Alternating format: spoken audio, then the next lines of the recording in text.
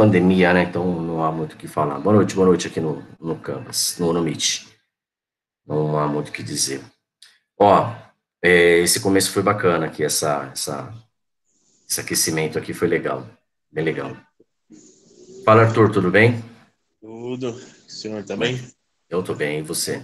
Esse probleminha na plataforma, né? Agora tá, liberou mais duas matérias para Que bom, que bom. Seja bem-vindo aí.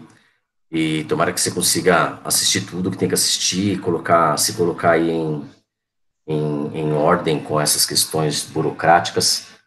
E espero te ver aí mais sextas-feiras. Eu já te vi em outras aulas, não? Acho que já, né? Não. Não. Essa é a sua primeira aula? Primeira Puts, eu não sei se você vai pegar melhor, mas tudo bem, vai. Vou, vou deixar você assistir as anteriores para você criar uma criar uma ideia do que é isso aqui, tá bom? Ô, ô criançada, vamos lá. Eu quero começar com vocês três e eu quero começar de um jeito um pouquinho diferente aqui. Quero começar com uma pergunta e depois eu vou falar um pouco da, da minha. Não, deixa eu começar já mostrando. A, a gente falou tanto de cultura e eu perguntei para vocês, perguntei o que, que vocês estão lendo, o que, que vocês assistem, a, as dicas de as dicas culturais que vocês podiam me dar. A Priscila chegou aí, boa noite, Pri. Cadê ela? Ela apareceu ali, vai aparecer aqui em qualquer momento. Ah, apareceu ali. Oi, Pri, boa noite, seja bem-vinda. Caraca, eu encontrei outra coisa para você, Priscila. Uma. Encontrei assim, no meio de tanta. do universo de coisas que eu pesquiso para aula de vocês, eu encontrei algo que vai ser legal e adivinha qual é o tema, né? Mas deixa eu, deixa eu mostrar para vocês um pouquinho do que forma um professor. E aí, Rebeca? Aliás, Rebeca. Rebeca, Arthur, Patrícia. Alguém está no Canvas lá falando comigo. Canvas me avisou aqui. Não. Um barulho falando aqui no meu ouvido. É, preciso perguntar. Estudou essa letra pequena aqui, cara. Eu não tenho mais idade para letra pequena. Conhecem? História da matemática do Boyer? Solta um sim ou não aí. E outra coisa, me parece que vocês estão estudando história da matemática agora. Confere? Confere? Vocês, vocês é, sabem se. Hoje, hoje eu vou tocar num tema que eu vou, vou margear um pouco, vou tangenciar, melhor dizendo, um pouco a história da matemática. E eu, da matemática no Brasil. Eu queria saber se eu não vou invadir o espaço do professor. Vocês têm ideia do plano de ensino? Vocês sabem, por exemplo, se vocês vão ter alguma coisa sobre a matemática moderna? O movimento da matemática moderna? Ou já estudaram alguma coisa a respeito disso dentro do programa? Sim ou não? Ou não sei? Patrícia não sabe. Bom, tá, quem ainda, quem ainda vai ter, você não sabe. Mas que teve, não, né? Oswaldo San Jorge, Euclides Roxo. Esses nomes dizem respeito a alguma coisa? Movimento da matemática moderna? Não, não. Tá. Tá. Caraca, é um problema que eu não sei. É que vocês estão tendo história agora, né? E eu não conheço o programa de história. Ele falou sobre contexto histórico ontem. É, eu preciso saber o plano de ensino. Vou, eu vou pedir para a coordenação o plano de ensino de história para ver aonde que, que. Porque o que eu vou falar hoje é muito específico do que está acontecendo no Brasil, né? E eu não, talvez dentro do curso dele ele fale alguma coisa e eu não quero invadir o espaço. Até porque ele que vai falar, né? Não eu, ele ou ela, né? Ó. Uh, aqui eu tenho um outro. Esse aqui era para ser didático, mas é barra pesada também esse aqui. Mas é, é, ele é didático para uma área específica, uma matemática aplicada à administração, economia e contabilidade. Esse é pesadinho. Os exemplos são bem pesadinhos. Vamos lá, mais um aqui. Nossa, esse aqui eu ganhei de um aluno, cara. Esse aqui eu ganhei de presente de um aluno, um daqueles alunos brilhantes, assim, sabe? O cara. É, é, você fala assim, não é possível que esse cara é meu aluno, velho. Como se só, só pudesse ter aluno ruim, né? Não, é, mas aquela, aquelas joias que vocês vão se, vão se deparar por aí. É, o que é matemática, uma abordagem elementar dos métodos e conceitos, do Richard Curran e do Herbert Robbins. Cara, esse livro é muito denso, esse livro é muito, muito denso. É, é legal para nós, professores, estudarmos, mas daqui para passar para o aluno é, é pesadaço. Bem pesado, bem diferente daquilo que com que eu já me deparei. Tem aqui um outro. Esse eu comentei, acho que eu comentei na aula passada. Esse eu preciso voltar a ler. E, mas dessa vez ler de verdade, de ponta a ponta. E a história de um número, de maior. É, cara, ter um, um livro inteiro só para tratar de um número na um número da matemática constante E 2,17828, cara, esse esse aqui vale a pena, né? E aí ele aborda esse número, tudo o que envolveu ele e tudo quanto é aplicação e tudo mais. Então, é assim, é para a biblioteca de vocês também aí no, no, futuro breve, tá? Eu falo muito do E no, no, quando dou aula de cálculo diferencial, a gente usa o E, e o E aparece o tempo todo lá, a derivada dele é ele próprio, coisas que são particulares desse número, né? Só que aqui tem todo um contexto, tem toda uma, uma, uma parte de aplicações de matemática e você vê ele, você vê esse número num, em um monte de situações diferentes. Então, eu preciso ler, voltar a ler, mas de verdade dessa vez, sabe? Ler como estudo. Pô, esse aqui eu amo, esse aqui eu gosto demais, cara. Bullet Atalay. A matemática é a Mona Lisa. Esse acho que eu cheguei a falar para vocês, né? A matemática é a Mona Lisa. Esse, nossa, eu já tenho esse aqui já faz um tempinho também, de mostrar alguma uma das coisas para vocês aqui. Olha lá. É, ele faz uma análise geométrica das obras, várias das obras do Da Vinci. Aqui, por exemplo, ó, vocês não vão conseguir ver, mas aqui, aqui tem umas linhas em branco, aqui é, alguns traçados de, de, de pontos de fuga na obra da Santa Ceia, é, análise de perspectiva, caiu o marcador da página, que beleza. Então, cara, é é pesadinho também. Não é uma leitura que você vai falar, ó, oh, que legal, que leitura gostosa. Você tem que estar com bastante café no corpo, mas é legal, sugiro. Aqui, ó, sempre, sempre, sempre, para quem vai continuar os estudos, tá? Para quem vai continuar os estudos. Eu lembro que eu comprei esse livro, não lembro que ano foi, ano 2000, um pouco antes, pouco depois, sei lá. Perspectivas, é, pesquisa em educação matemática, concepções e perspectivas. É, esse livro que eu peguei para estudar alguns artigos quando eu, eu quis tentar fazer um mestrado na Unesp. Cheguei até a fazer a prova lá na Unesp. Só que foi totalmente sem preparo e a prova era fácil de passar, meu. A prova era fácil. Eu acho, se eu não estou enganado, a gente usava um dicionário para fazer a prova de inglês. É, a prova de, de, de conhecimentos, que foi aí que eu me ferrei, né? A prova de conhecimentos específicos, você tinha lá cinco temas, e aí eram sorteados dois dos temas, você tinha que mandar antes os temas. Então, a, a ideia era, se você preparasse bem os seus temas, era chegar lá e destrinchar a prova, né? Eu não, eu não tinha essa experiência, né? De como preparar antes. Então, aqui tem tem vários artigos de tudo quanto é assunto. Filosofia e epistemologia da, na educação matemática, história da matemática, educação matemática, que mais? Uh, ensino e aprendizagem na educação matemática, depois dentro disso vem lá os, os tópicos. Formação de professores e a informática na educação matemática. E eu, eu fui para fazer na área de informática, né? Então, o meu artigo era muito específico aqui sobre tecnologia da informação e o uso do computador na sala de aula. Mas esse tipo de coletânea vocês pegam nas feiras de livros em, em na USP, por exemplo, tem bastante, tá? Esse eu gosto, esse aqui, esse aqui tem uma historinha também, esse é bem legal, o cara que escreveu isso aqui, ele foi genial, genial, genial. Tem muito de história da matemática aqui, o Teorema do Papagaio, do Dennis Guetsch, um trailer da história da matemática. Bem legal. Tem uma história no, no contexto junto com, com a parte, toda a parte histórica, tem explicações matemáticas. Deixa eu pegar um trecho aqui, olha lá. Tem. Vou pegar um melhor aqui. Tem um trechinho com fórmulas aqui, sei lá, aqui ele está falando de Euler, por exemplo.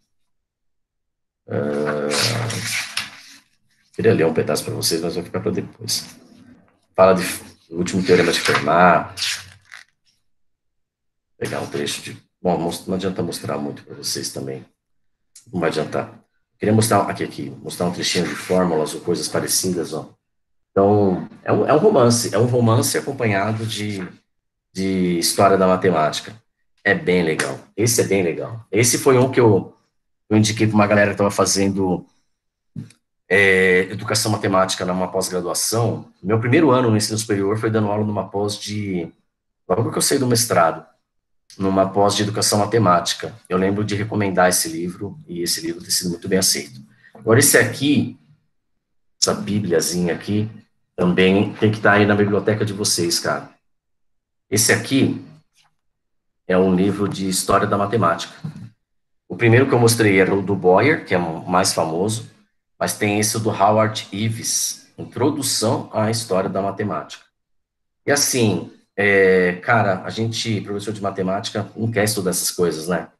A gente quer fazer conta e quer ensinar o nosso aluno a fazer conta. E aí, lembra da etnomatemática, cara? Lembra do que a gente tem que entender o contexto cultural e histórico para eu inserir aquilo para o meu aluno fazer sentido? Então, na boa, uma crítica a mim e a vocês. Ele não devia ter empoeirado como tá. Eu devia, eu devia ter ele mais à mão. Vocês também e vocês também. Então, quando a gente fosse falar, vou pegar alguém específico aqui, vai. Uh, McLaurin, por exemplo, gente fosse falar do McLaurin, eu, eu teria que saber falar dele. Ó. Leonardo Euler de novo, olha lá. Eu teria que saber falar do Euler, contextualizar, saber onde que ele está, Paul D'Alembert. Teorema de D'Alembert, teorema de D'Alembert, se eu não estou enganado, são quando a gente quer resolver polinômio, encontrar alguma coisa em polinômios, não é isso? Teorema de D'Alembert. Quem pode dar uma, uma ajuda aí?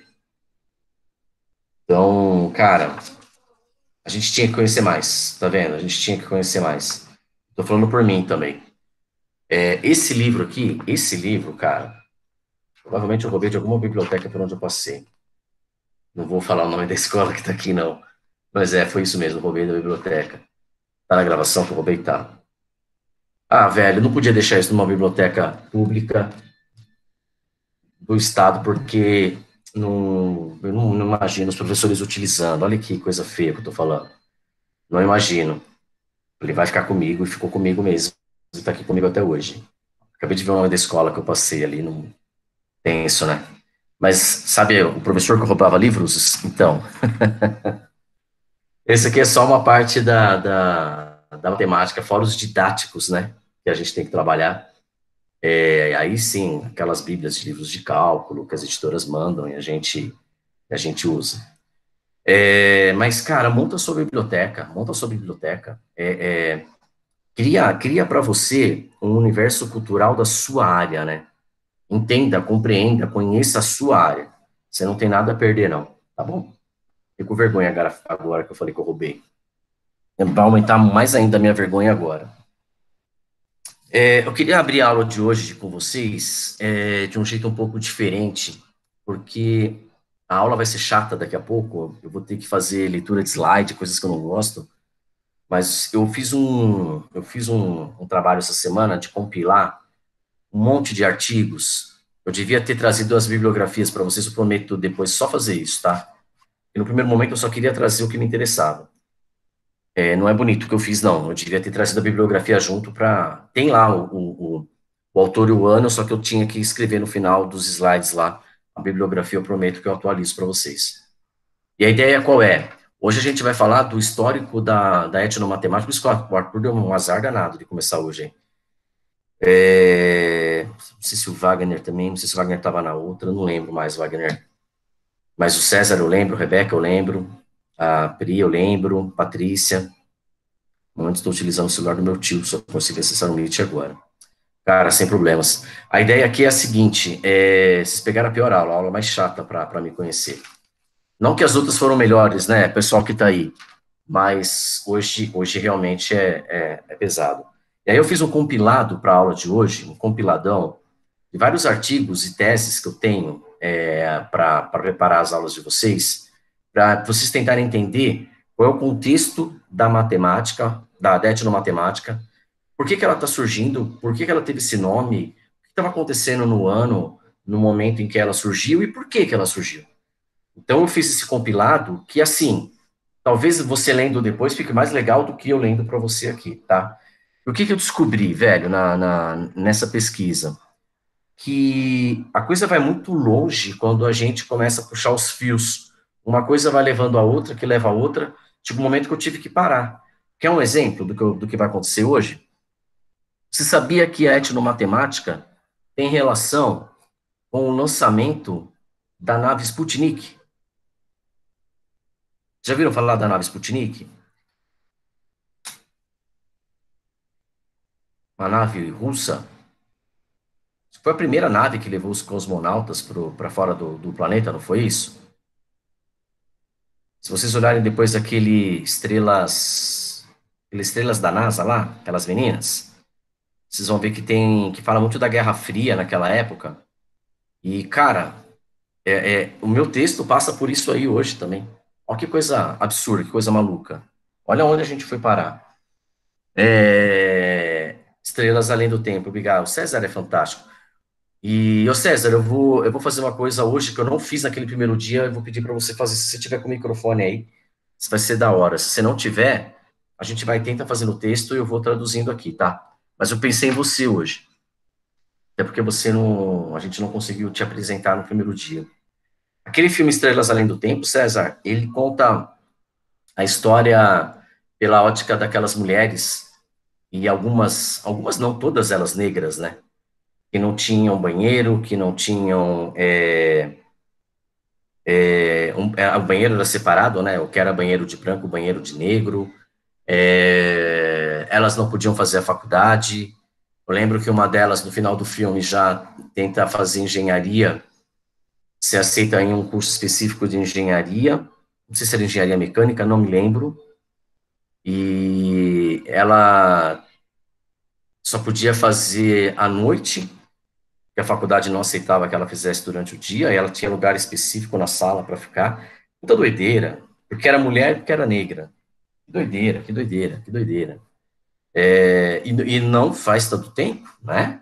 E não faz tanto tempo assim, a gente está falando da década de 60 e 70. Foi ontem. E a gente esquece. Então, olha onde foi parar minha aula. E eu queria começar com vocês hoje, eu vou abrir um sorriso aqui de safadeza minha, é, porque eu queria fazer primeiro uma pergunta para você, para vocês. Vocês podem me dar exemplo, pensando em etnomatemática, em sai do, sai do, do, do, do normal do seu currículo. Quem me dá um exemplo de aplicação de números naturais? Sei lá, exemplos de números naturais. Onde que eu encontro números naturais na vida. Lembrando, lembrando que eu posso pegar para o meu aluno e falar assim, olha, meu aluno, é, eu quero falar de dois. Ó, eu tenho dois objetos aqui. Isso é dois, tá? Eu tenho mais dois objetos. Esse é o número dois. Ele representa duas unidades. Legal. Aí eu me deparo com um artigo que fala assim: tem uma determinada tribo, que eu não sei qual é agora, que eu não, não precisava ter registrado, mas não registrei. Uma determinada tribo, o, o personagem da tribo, ele tem um cacho de bananas e uma maçã. E para ele, aquilo são duas unidades. Porque banana e maçã são coisas diferentes. Ele não conta aquela quantidade imensa de várias dúzias de banana no cacho da banana. Para aquele membro da tribo, o dois para ele é banana e maçã. Olha que interessante. Não interessa para ele a quantidade de bananas que ele possa ter. E que dezenas de bananas ele tinha lá. Mas o fato dele ter duas frutas diferentes, para ele, aquilo são duas unidades. Representam duas unidades. Bem interessante, né? E para provar para vocês que a vida de professor é pagar mico, trouxe aqui no Canvas para vocês uma letra de uma música. É bom que eu tô aqui no Canvas, que eu não tô vendo vocês aí no Meet, nem vou ler depois. De um cantor que eu gosto muito. Tenho algumas músicas dele esses dias aí por causa da lua cheia. Eu trouxe para vocês essa letra aqui do Raul. Só que eu não vou ler, óbvio que não vou ler. Eu vou cantar para vocês, porque a minha voz é para isso. Os números. Vou precisar de uma batucada.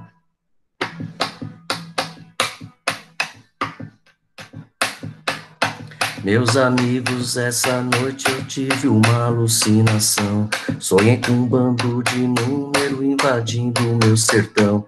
De tanta coincidência que eu fiz essa canção. Falar do número um. Falar do número um não é preciso muito estudo. Só se casa uma vez e foi um Deus quem criou tudo. Uma vida só se vive, só se usa um sobretudo. Agora o 12. Essa de, e só de pensar no 12 eu então quase desisto. São 12 meses do ano, 12 apolos de Cristo. 12 horas é meio-dia, já dito e já visto. Agora o 7. E o sete é. Cadê? Sete dias das. Ah, tá faltando coisa aí. Agora o sete.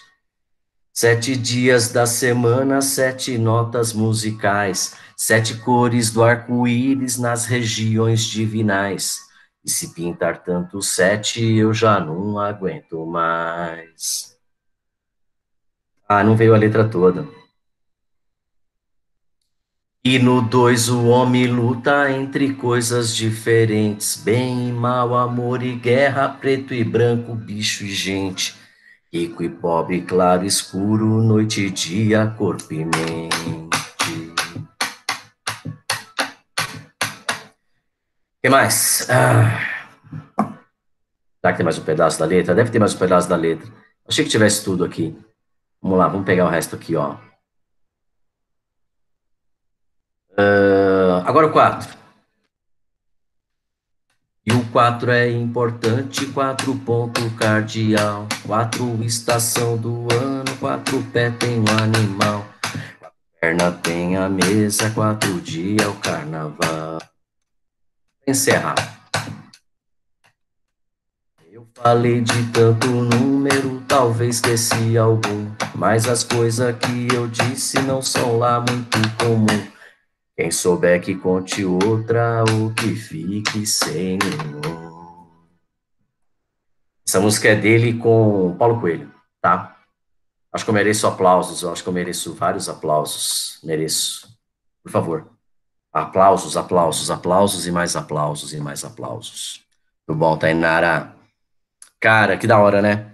É... é que eu dei uma engasgada na letra e realmente comeu a letra aqui, né, cara? Eu achei que e aparecer a letra toda aqui, tá vendo? No Canvas não apareceu, não. Fiz um Ctrl C para ver se vinha tudo pro slide do Canvas, acabou não vindo. Falar dos números, falar dos números com um ritmo de baião, falar dos... o César. O César tira um barato da minha cara. Falar dos números no ritmo de baião, falar de números num contexto totalmente diferente. Vocês viram aqui um pedaço da letra, ó? Ele fala assim... É 12. Essa de pensar no 12, eu então quase desisto. São 12 meses do ano. Ele não fala apóstolos, tá? Na, na, no ritmo da música, ele fala apóstolo, ele fala, fala muito rápido. São 12 meses do ano, 12 apóstolos de Cristo, 12 horas e meio-dia, haja dito e haja visto. E aí, a, a, o 12 ele poderia falar, sei lá, é, é, signos do zodíaco, por exemplo. Uh, não sei, não sei, não sei. O 7, o 7 que é um número, o 7 que é um número cabalístico, né? O 7 que é um número bíblico, é um 7 que é um número que que está associado com ao misticismo. Cara, olha a riqueza de coisas para onde a gente podia ir. E aí a gente fica naquela coisa do 7, tabuada do 7, faz até musiquinha com a tabuada do 7, mas esquece de contextualizar onde que a gente pode ter 7. Cara, é, é, eu acho sensacional. Isso é a etnomatemática da, do número natural para o meu aluno. E já pensou montar uma bandinha com esses alunos, e os caras ali brincando, se divertindo, ouvindo o professor cantar? Eu gosto muito de cantar nas minhas aulas, né? Quando tem musiquinha, eu gosto de cantar. Vocês vão perceber, tem muita técnica de professor de cursinho que faz isso, né? Você vai perceber que você conquista o seu aluno, cara, na simplicidade, né? Você não precisa ser um cantor, eu não sou cantor, né? Você conquista na simplicidade de mostrar para ele que ele não precisa ter vergonha de errar, que ele não precisa ter vergonha de se expor, que ele não precisa ter vergonha de falar, porque naquele ambiente cultural que você criou, tudo é permitido, inclusive o professor cantar, tá bom? Pensou, Rebeca, você, toda roqueira, cantando um baião lá em Minas? Ou já mete um rock ali também para ficar uma coisa mais pesada, tá? Bom, queria ter trazido então para vocês um pouco da minha cultura é, dos livros, tá? Aquilo que ajuda a. E aí eu já assumo, assumo e, e, vou transferir a culpa. A gente, não, a gente não foi criado, né? Professor de matemática não foi criado para ler, né? A gente não foi criado para estar tá próximo de leitura, para estar tá próximo dos livros. E tenho certeza que vocês leem as coisas de vocês, alguns até me indicaram leituras aí. Não sei se eu pedi leituras na semana passada, não lembro. Eu sei que a gente falou de filmes, falou de séries. Eu falei de leituras, eu não me recordo. Depois que eu comecei a falar dos livros aqui, é que eu lembrei, mas eu não sei se eu falei de leituras. Falei? Só com sim ou não para mim, é isso só para eu saber? Não sei se vocês me mostraram o que vocês estavam lendo. Inclusive hoje, inclusive hoje na, assim, ela assim, inclusive hoje na, na, no Face, o Face me deu uma lembrança. E cinco anos atrás eu fiz uma pesquisa com os meus amigos lá, perguntando o que, que eles estavam lendo naquele momento. E apareceu coisas legais pra caramba. E perguntei de novo hoje. E aí já, já vi lá que apareceu um livro desse, desse aluno de um desses alunos dessa turma que eu mostrei o Teorema do Papagaio, eu trabalhei com ele também, ele foi, ele era professor da, de uma antiga universidade onde nós trabalhamos juntos, ele era professor do colégio, foi meu aluno na pós, e aí eu trabalhei com ele na faculdade em Anguera, aí sim os dois como professores lá, e ele é o Serjão, um cara famoso pra caramba, é, ele é da Umbanda, viu, ô Pri, ele é da Umbanda, é, acho que é um banda, acho. Eu posso errar, você sabe que eu vou errar, né? E o Sérgio, ele me mostrou que ele estava lendo hoje a matemática dos Simpsons. E aí ele me mostra que, o, que o, a grande parte de, de roteiristas, uma grande parte dos roteiristas dos Simpsons são bacharéis em matemática. Vocês sabiam disso? que coisa maluca, né? Que coisa maluca. Uma boa parte dos roteiristas lá, do pessoal que escreve é, roteiro para Simpsons, são os da matemática. E o pessoal que fez aquele Futurama, que é um desenho da, do mesmo criador, é... tem uma boa parte da galera lá que é da física. Diz que o desenho é todo ambientado naquele ambiente físico lá. Olha que mundo, que mundo maluco. Muito bom. Então, trouxe a minha contribuição de cultura. Quem quiser depois algum nome de algum livro, me fala. Vou deixar com vocês hoje também um mimo, um mimo, tá? Eu gostaria, e aí é aquela história do quid pro quo. Gosto desse termo quando eu me lembro do filme Hannibal. Sim, professor, não passar Hannibal, não sei se vocês assistiram, Hannibal foi o primeiro com. Caraca, primeiro Hannibal que fez? Ajuda aí. Uh, tem a Sterling, gente. Como que é? Antigo, esse filme é antigão. Antigão, antigão, antigão, antigão. Uh, vamos pesquisar, vai.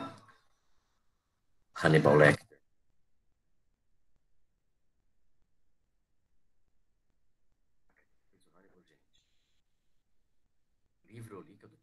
Anthony Hopkins. O Anthony Hopkins que fez o, o, o Lecter. E ele falava para Clarice assim, né? Que ele tinha. Ela tinha que trocar, só que ele era safadão pra. Tinha que fazer uma troca. E aí ele, ele pedia alguma coisa meio absurda para ela, que mexia com, com o psicológico dela, na troca. Tô dando para vocês, aqui no Canvas, vou subir lá, e vou mostrar para vocês também uma revista que eu quero que vocês tratem com carinho. Eu prometo que eu vou atrás também do original dela, tá? Porque o que eu tenho aqui é uma cópia. É... O nome, né? Primeiro, o que é mais fácil? É uma cópia PDF. Está disponível na internet para quem quiser, tá? E eu vou deixar aqui para vocês lerem quando vocês tiverem um tempinho. E talvez, cara, talvez, pensando em termos aí futuros de avaliação, coisas do tipo, Ó, dá uma olhadinha aqui, ó, no Canvas, se vocês puderem olhar, por favor. Olha que maravilhoso isso aqui. Cara, eu compartilhei minhas coisas, né? Compartilhei? Acho que sim, né?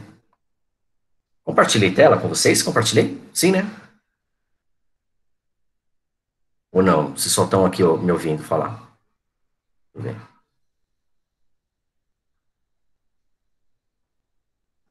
Hein, galera? Eu compartilhei com vocês a tela? Sim ou não? Acho que sim, né? A tela sim. Tá, tá. Boa, César. Obrigado, velho. Ó, dá uma olhada aqui no Canvas comigo, ó. Vixe, tá demorando pra subir ali, 34. Aqui é pesadinho mesmo, tem um monte de imagem. Cara, é, um, é uma riqueza, é uma riqueza. Eu vou deixar disponível em materiais para vocês também, para vocês poderem consultar e pensar na nossa avaliação. Ó, e por falar em avaliação, já está na hora da gente começar a pensar nisso, hein? Já, já. Vou dar mais uma semana para ver se as coisas se estabilizam melhor e a gente já vai começar a falar sobre isso. Vamos lá, 60% ainda. Esperar virar isso aqui. Nossa, lento demais. Cara, é assim, no Canvas, é, vai aparecer já já aqui, Rebeca. No Canvas, aí eu coloco em materiais para vocês daqui a pouco lá, tá? Aliás, acho que até posso colocar em materiais já, porque vai ser mais rápido do que esperar ele, ele subir na tela. Ó, O Canvas falou no meu ouvido aqui. Eu quero de vocês. É... Aqui, primeiro. Eu quero de vocês essa, a, a, a leitura de pelo menos, pelo menos um dos artigos que aparecem nessa revista, tá? Pelo menos um. Porque ela vai ficar disponível para vocês e aí, quando eu comecei a aula e a Rebeca chegou aqui por volta das sete da noite, eu estava num, numa conversa via Messenger aqui com um ex-aluno meu, angolano. Quero ver se eu trago alguma coisa mais. Nossa, tudo demora. O Scientific America é uma revista científica aqui, galera. Aqui. Uma revista Scientific America com o tema compartilhar a tela não, vou só aumentar aqui, que já está compartilhando, ó. Com o tema etnomatemática, a Científica América no Brasil. Ela foi vendida em Portugal, pelo jeito, porque tá em, o preço está em euros aqui, né? Etnomatemática, um modo ocidental de contar não é único. Povos diferentes, povos de diferentes regiões e culturas desenvolveram métodos próprios para solucionar problemas que são usados até hoje. E aí, olha a riqueza, velho. África, Peru, então na África, berço da matemática há 20 mil anos, Peru, o enigma dos quipos, as cordas com nós, Japão, esse é do Japão, é, é legal pra caramba, a geometria a serviço dos deuses, no Oriente Médio, os quadrados mágicos na terra do Islã, quem já fez quadrado mágico naquelas revistinhas aí de Sudoku, por exemplo, palavras cruzadas, na Índia, a tradição feminina nas figuras do Kolan, e no Brasil a sabedoria dos sem terra, índios e negros. Tem um artigo bacana no final aqui que fala dos negros, que é bem legal. E aqui, a mulher contando uma história através do sona, né? Seria aqueles pontinhos e linhas que a gente já comentou aqui, e que eles usam para contar histórias. Ó, aí tem, logo de cara, logo de cara, tem um, eu vou chamar de prefácio, vai, mas o pequeno artigo do professor Ubiratã chamando para tudo que vem. Olha lá, aritmética maia, os dois zeros na cultura maia, o enigma desses nós, os quipos, astronomia chinesa, geometria a serviço dos deuses do Japão, quadrados mágicos, poemas matemáticos, África berço da matemática, figuras do Colan. Então é assim, ó, na boa, isso aqui é, é para vocês, já subiu aqui, ó, já subiu aqui em materiais, tá? Já está lá em materiais para vocês. Eu quero que vocês façam, façam a leitura, tá? De algum desses artigos, não precisa ser a revista toda. E no segundo momento a gente vai discutir uma forma de avaliação. E lembrando que eu não quero. Lembra semana passada que vocês montaram uma avaliação baseada em resolver com um problema resolver de uma forma nova problemas antigos, né, que vocês fizeram, a maior parte de vocês se encaminhou para um jogo na hora de avaliar um aluno com relação às quatro operações, é um pouco daquilo que eu quero pensar na minha avaliação também. Quero que vocês tragam a, a, a etnomatemática de vocês, da região de vocês, o trabalho de vocês. Eu quero, ou se ninguém tiver, a gente vai lá e faz, e vai buscar a etnomatemática quando ela já está sendo utilizada, e a gente faz uma prova baseada nesses artigos também, a única coisa que eu não queria, eu queria escapar, era aquela coisa de é, leitura de artigo e você vai lá e tem que ficar respondendo perguntas sobre o artigo, e aí rola aquela cola, sabe aquelas coisas que não tem menor sentido?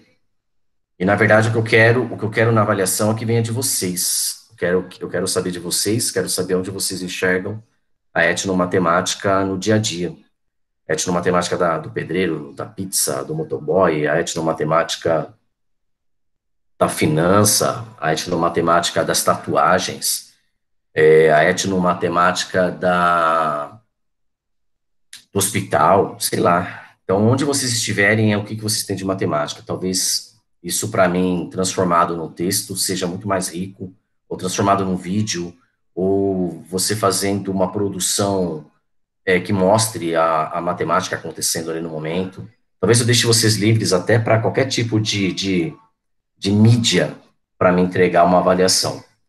Dá para entender onde eu quero chegar, em termos de avaliação ou não? Ah, e outra, e outra, sempre com segurança, né? Nada que vá te colocar em risco, nada que você tenha que sair da sua casa e se expor, se você estiver preso em casa. Então, o que eu quero é, é é o simples, tá? O que eu quero que você. E aí, tudo bem, alguém que está fazendo home office não vai sair de casa para jeito nenhum e não tem a etnomatemática ali, não, não consegue ver a etnomatemática do trabalho dele, sem problema. Vamos para a pesquisa, então. Essa revista é uma grande fonte de, de material, fora os artigos que eu trago para vocês, tá bom? Bom, é, a, gente, a gente começa a aperfeiçoar melhor essa ideia na semana que vem. É, se eu não estou enganado, vocês vão ter uma avaliação A2 diferente do que foi o semestre passado, devido à falta do PI, se eu não estou enganado, não é isso? Vocês estão sabendo de avaliações? Já comentaram com vocês? Ah lá, sim. Ok. E aí uma boa parte dessa segunda avaliação é do professor também, né? É minha, que nem era. Era minha, para as outras turmas é minha, mas é um conjunto lá de 5, 10 perguntas, e nos cálculos, por exemplo, o cara tem que fazer as contas. Agora, na etnomatemática, eu preciso, eu quero pensar bacana. Talvez, se ela for institucionalizada lá dentro do, do, do Canvas, como foi, foram as outras, aí a gente tem que fazer alguma coisa ali um pouco mais institucional, mas dentro da, da ideia que eu tenho de avaliação. Turma, lembra, lembra? A minha, a minha disciplina, ela vem, ela vem ela não vem para falar que o, que o tradicional está errado, pelo contrário, ela vem para caminhar junto, tá? Com o tradicional e te fazendo ir e voltar em alguns momentos, é te dar liberdade de voltar. Vamos lá, vamos falar da minha matéria, então, especificamente agora, lembrando que vai ser um pouco mais pesado, tá? Então, por favor. Para começar, César, preciso de você. Não sei se você está com o microfone ou não. É... E só para lembrar, semana passada você era Beatriz, se eu não estou enganado, né? É semana sim, semana não? Hoje foi a semana não? Tá. Hoje é semana não, hoje você está de César. César, me fala uma coisa, velho. Se você quiser escrever ou se você quiser falar, não tem problema, tá? Vou passando aqui para a galera. Eu vou contextualizar hoje a etnomatemática no tempo tá? Pra vocês poderem entender a loucura que foi o começo dessas ideias da, da etnomatemática e o que, que agregou a etnomatemática. Então, eu quero começar com você primeiro, César. Ô César, qual é a sua idade hoje? Boa noite. Hoje eu... Aê, garoto. Aê. Boa noite, meu amigo. Tô com 40 anos, professor. 40 anos. Ô César, vamos lá, vamos voltar no tempo, hein? 40 anos atrás, a gente está falando do ano de 1980? Isso, isso mesmo. Muito bom. Ô Patrícia, perdão, mas eu só consigo lembrar de você no momento agora. Você tinha que idade em 1980, Patrícia? Se é que você já era nascida? Acho que a Patrícia não era nascida em 80.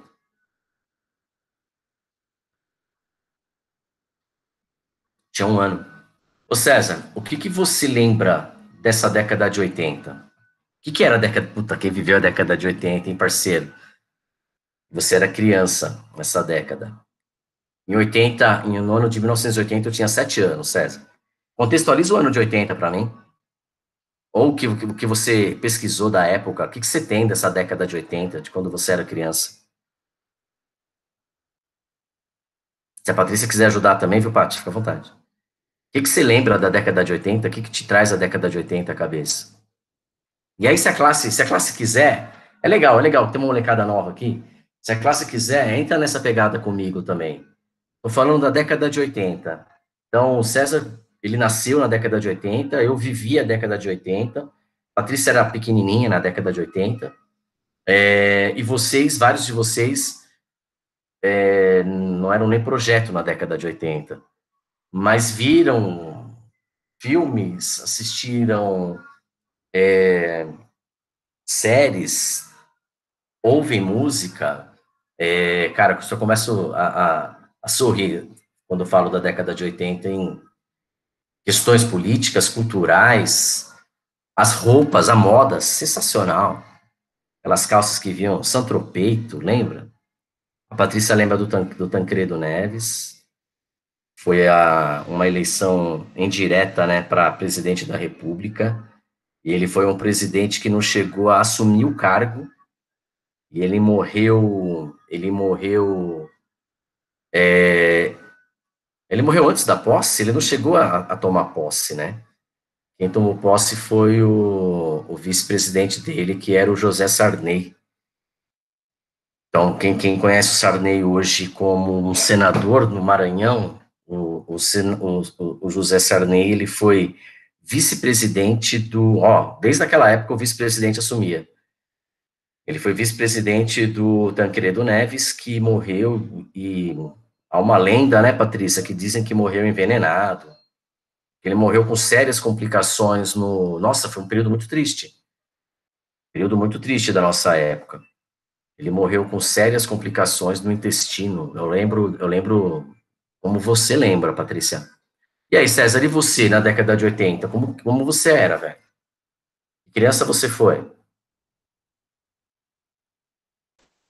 Então, professor, eu me lembro muito daquela época que a gente tinha liberdade de brincar na rua. Né? Sim. Minha família era uma família meio tradicional. Eu cuidava dos meus irmãos, né? Mas a gente tinha toda uma liberdade, ficava até anoitecer na rua, brincando de carrinho de rolimã. Coisa que hoje em dia, minha filha mesmo tem 12 anos e ela nunca brincou na rua. Então a sua rua era asfaltada na época, né? Você falou de família tradicional, então se você tinha carrinho de rolemã numa rua. Era rua asfaltada, né, velho? Se era carrinho de rolemã, na rua de terra não ia. Não dava. Não dava. Que região de São Paulo? Era São Paulo? Era é, Parada de Taipas. Ah, na Parada, na Parada. Ali perto da Raimundo. Isso mesmo, exatamente. É uma travessa da Raimundo que eu morava. Beleza, legal, legal. A Raimundo, para quem não conhece, é uma avenida Acho que é a maior avenida de São Paulo, né, velho? Ela vem quase da Marginal Tietê e vai parar lá em Laranjeiras, né? Essa é a Avenida Raimundo Pereira de Magalhães. É, uma, uma parte, um trecho dela era chamada de Estrada Velha, que emendava e até Jundiaí, né? Essa estrada ia até Jundiaí. Eu morei em Franco da Rocha, César, então era caminho pegar a Raimundo, pegava um ônibus chamado Ladário, esse ônibus, ele levava umas três horas para fazer de Franco da Rocha até a Lapa, por exemplo. E a gente vomitava tudo que a gente comia, porque era tenso pegar aquelas curvas ali na, na Raimundo. Era, era uma viagem bem barra pesada.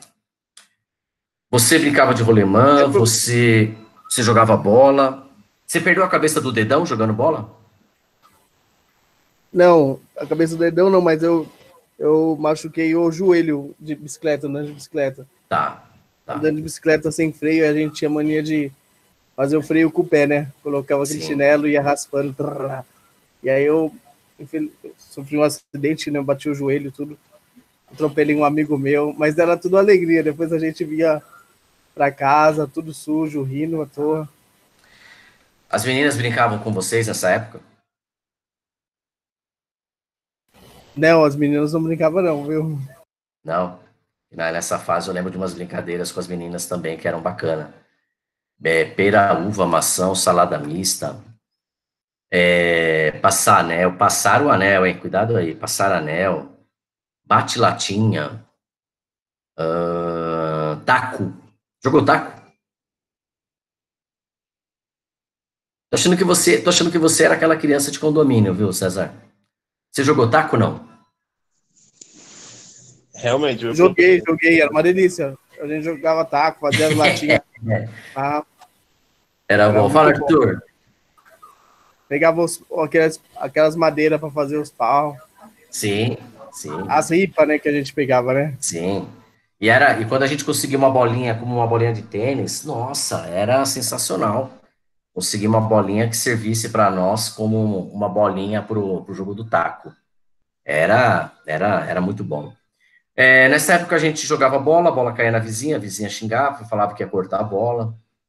É... A bola, senão era facada na bola que a vizinha dava. Exatamente. A gente brigava de mão na rua, brigava de soco, brigava de soco com os coleguinhas.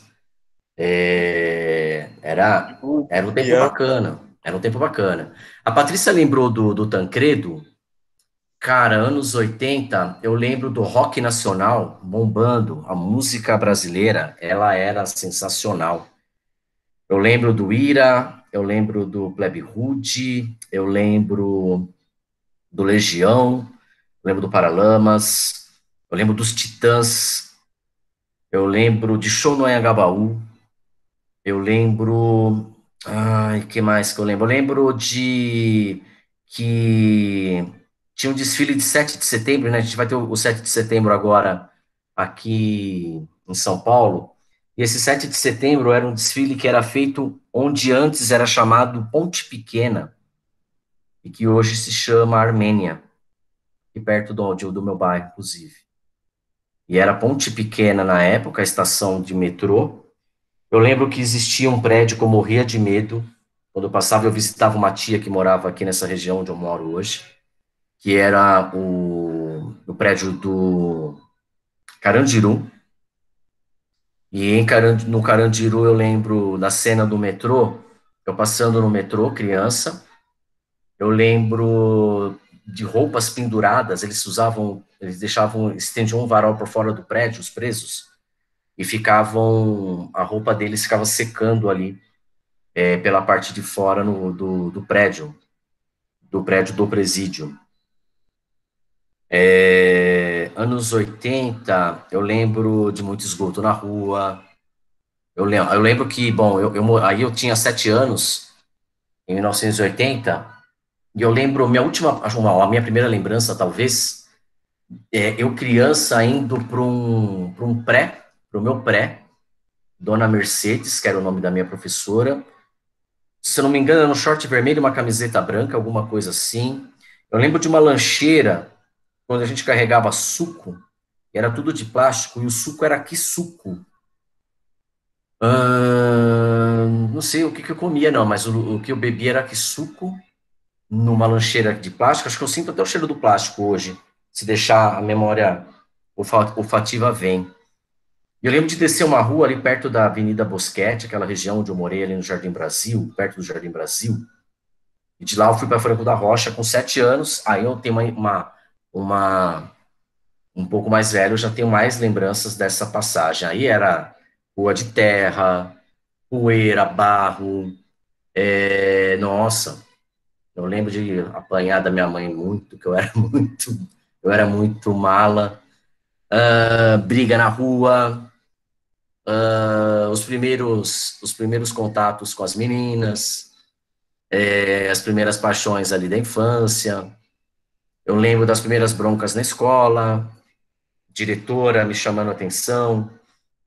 Eu lembro de uma punição uma vez, olha lá, eu lembro de uma punição uma vez em que eu estava na quinta série, quinta série, eu devia ter 10, 11 anos. Então o ano era, o ano era 83, 84. Eu lembro de uma punição em que não, não era 83, 84 na quinta série, era um pouco mais para frente. 86, 87, um pouco mais para frente. Se 80 eu estava na primeira série, né? Só fazer a conta.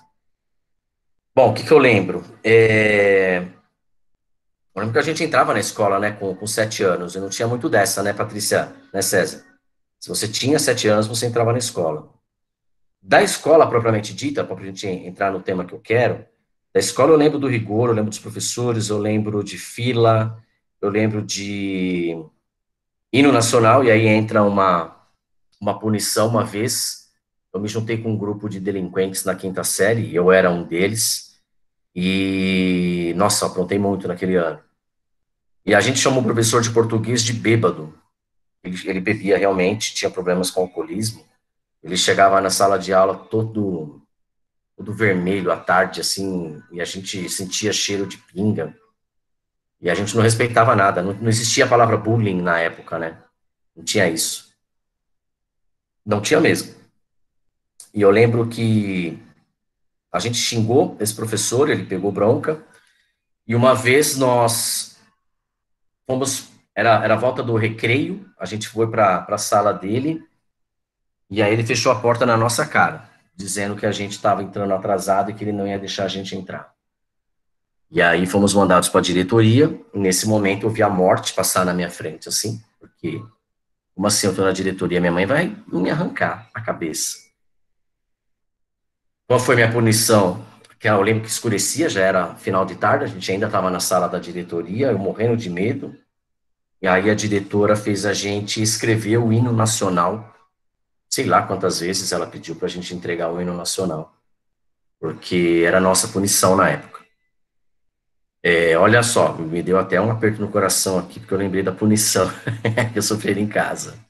César, eu estou te perguntando, porque quando, quando, quando algo surge, no caso você, ou qualquer um de nós aqui na sala, quando a gente se vê como pessoa, a gente entra no mundo a partir de um contexto e para nossa formação, a gente recebe ali uma série de informações, né? A gente recebe as informações de dentro da nossa casa, a gente recebe as informações no entorno, na escola, a gente recebe nos nossos grupos sociais, né? A gente recebe do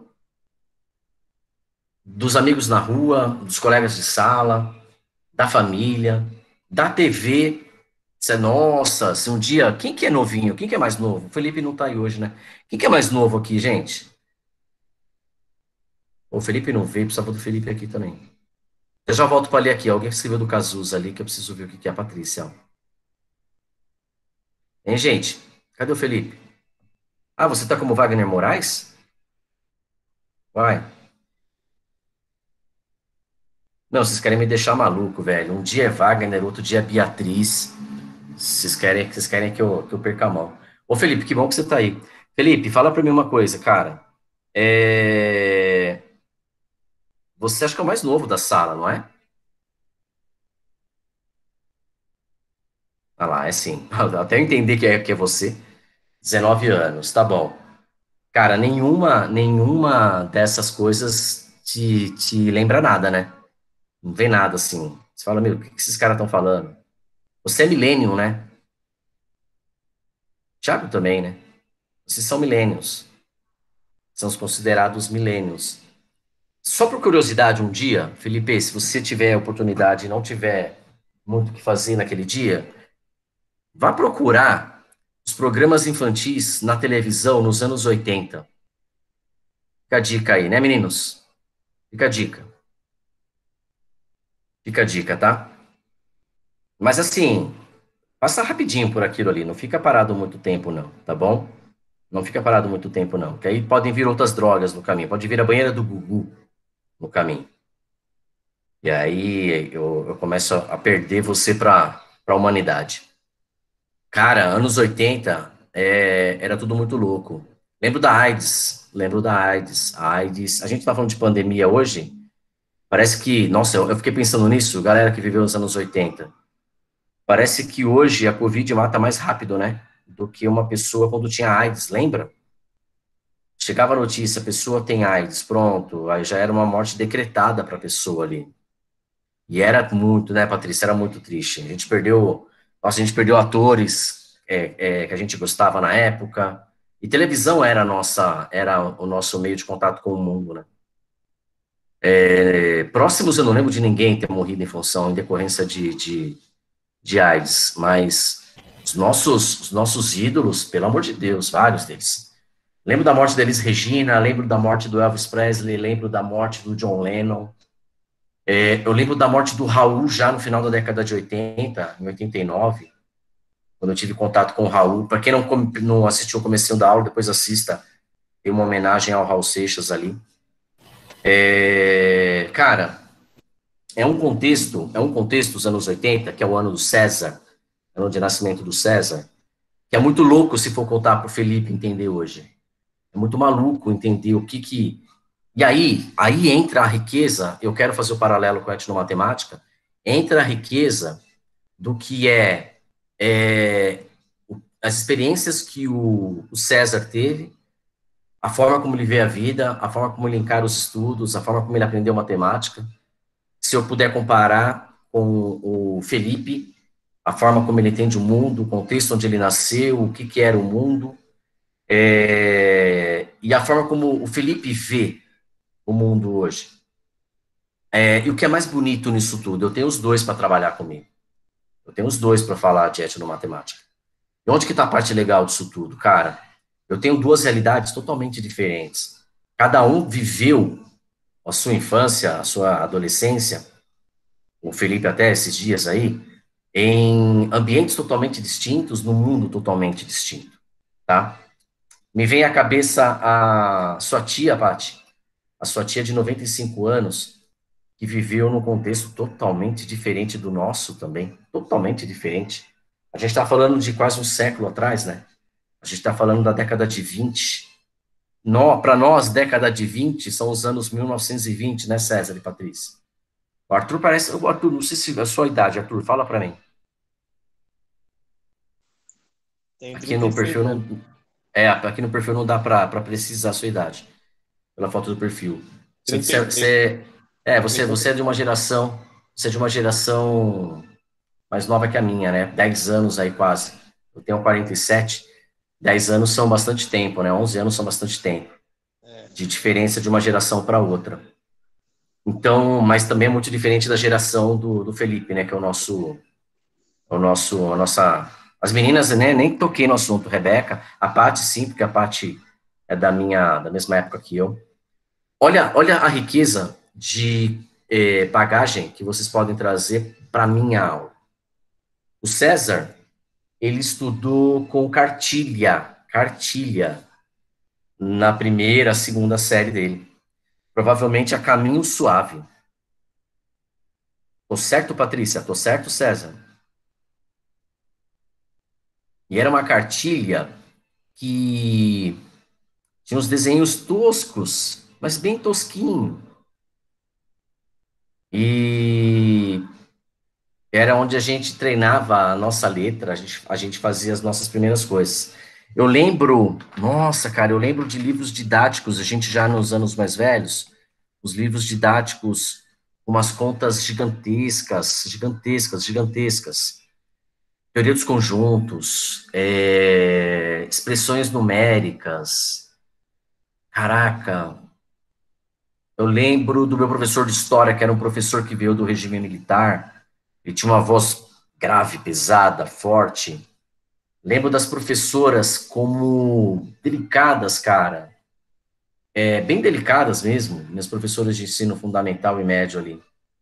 Lembro de uma mãe, ah, esse cara, esse professor de história, ele, regime militar, ele já estava quase que se aposentando nessa época, então, extremamente militar, extremamente rigoroso, na aula, e você não abre a boca, e você não fala com ninguém, e você copia da lousa, a gente copiava muito da lousa, a gente copiava muita coisa da lousa.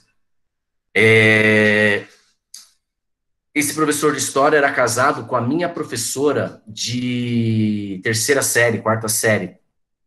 E a filha dela era minha colega de classe. E eu lembro dessa menina, só ver aqui. Eu lembro dessa menina tomando cada supapo na sala de aula. Hoje ela é professora também. Se eu não estou enganado, é professora de matemática, talvez? Preciso saber. E eu até esbarrei com ela um tempo atrás, aí, enquanto eu ainda pertencia à rede pública. Minha irmã, que é professora da rede pública, lembra bem dela. É, olha, olha o contexto. E era família padrão também, né? Era família padrão ali na, na cidade, eles moravam na rua principal da cidade, funcionários do Estado, né? Então eram funcionários públicos, deviam ter o seu, seu salário considerável ali naquela década de 80. Todos os professores com carros, eu lembro disso, então não era um problema para o professor, hoje é, no meu caso.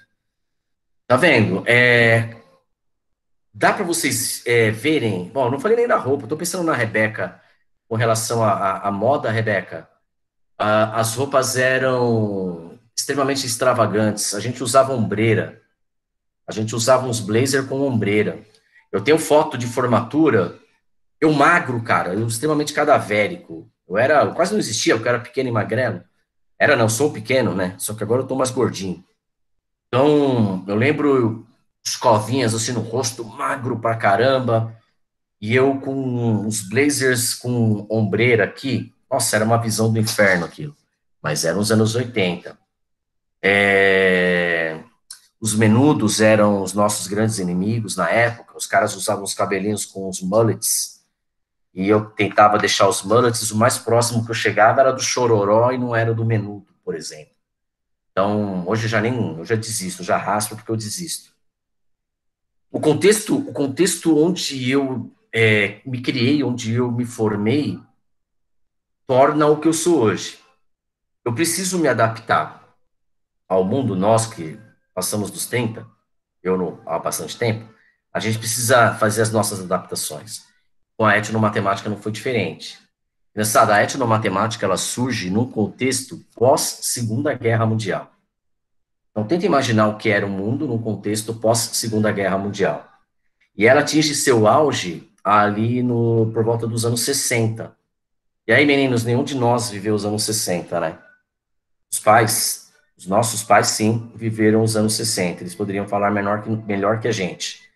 Mas o que me interessa dos anos 60 é um pouco do que a gente está vivendo hoje, né? Os anos 60 eram anos bem pesados em termos de em termos de regime político.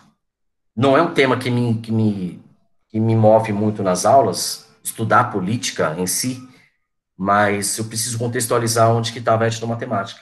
A etnomatemática, ela surge a partir da opressão que acontecia aqui na América Latina em muito, né, da, da classe dominante em relação ao aluno, ao cara que queria estudar. Tem muita controvérsia, tem muita gente que vai falar, que vai defender que era, que era bom naquela época, que estudar era legal naquela época, o regime militar não era tão ruim assim, mas se a gente pensar numa palavra, que eu posso guardar daquela época do, do, do, do regime militar em relação às aulas de matemática era o mecanicista. Era o aluno, meu aluno não tem que pensar, o meu aluno tem que fazer as contas, e quanto mais contas ele fizer, melhor, tá? Eu tenho um livro até hoje, que é um que eu guardo para lecionar, que é um Fundamentos da Matemática Elementar, do, do Gelson Iese. Cara, ele traz vestibulares da, da década de 60, da década de 70 no livro dele, e as perguntas, as perguntas são aquelas específicas, não tem contexto como pergunta do Enem. Só para o Felipe poder entender. O Felipe hoje não faz uma pergunta se não for contextualizada. Não tem para ele uma pergunta, calcule a derivada. Nós, nós é que trazemos do cálculo, né? Mas todas as nossas perguntas antes eram arme e efetue. Estou errado não? Quem que lembra dessa expressão aí? arme e efetue. Então a conta vinha numa linha, a conta vinha numa linha, você tinha que montar a conta, montar do jeitinho que tinha que montar lá, uma adição, uma subtração, um número decimal, e desenvolver à mão aquela conta. Você não tinha um contexto onde aquela conta estava inserida, ok? Então, é, não, era, não era permitido questionar, dialogar. E aí entra a, a, a etnomatemática dentro dessa situação.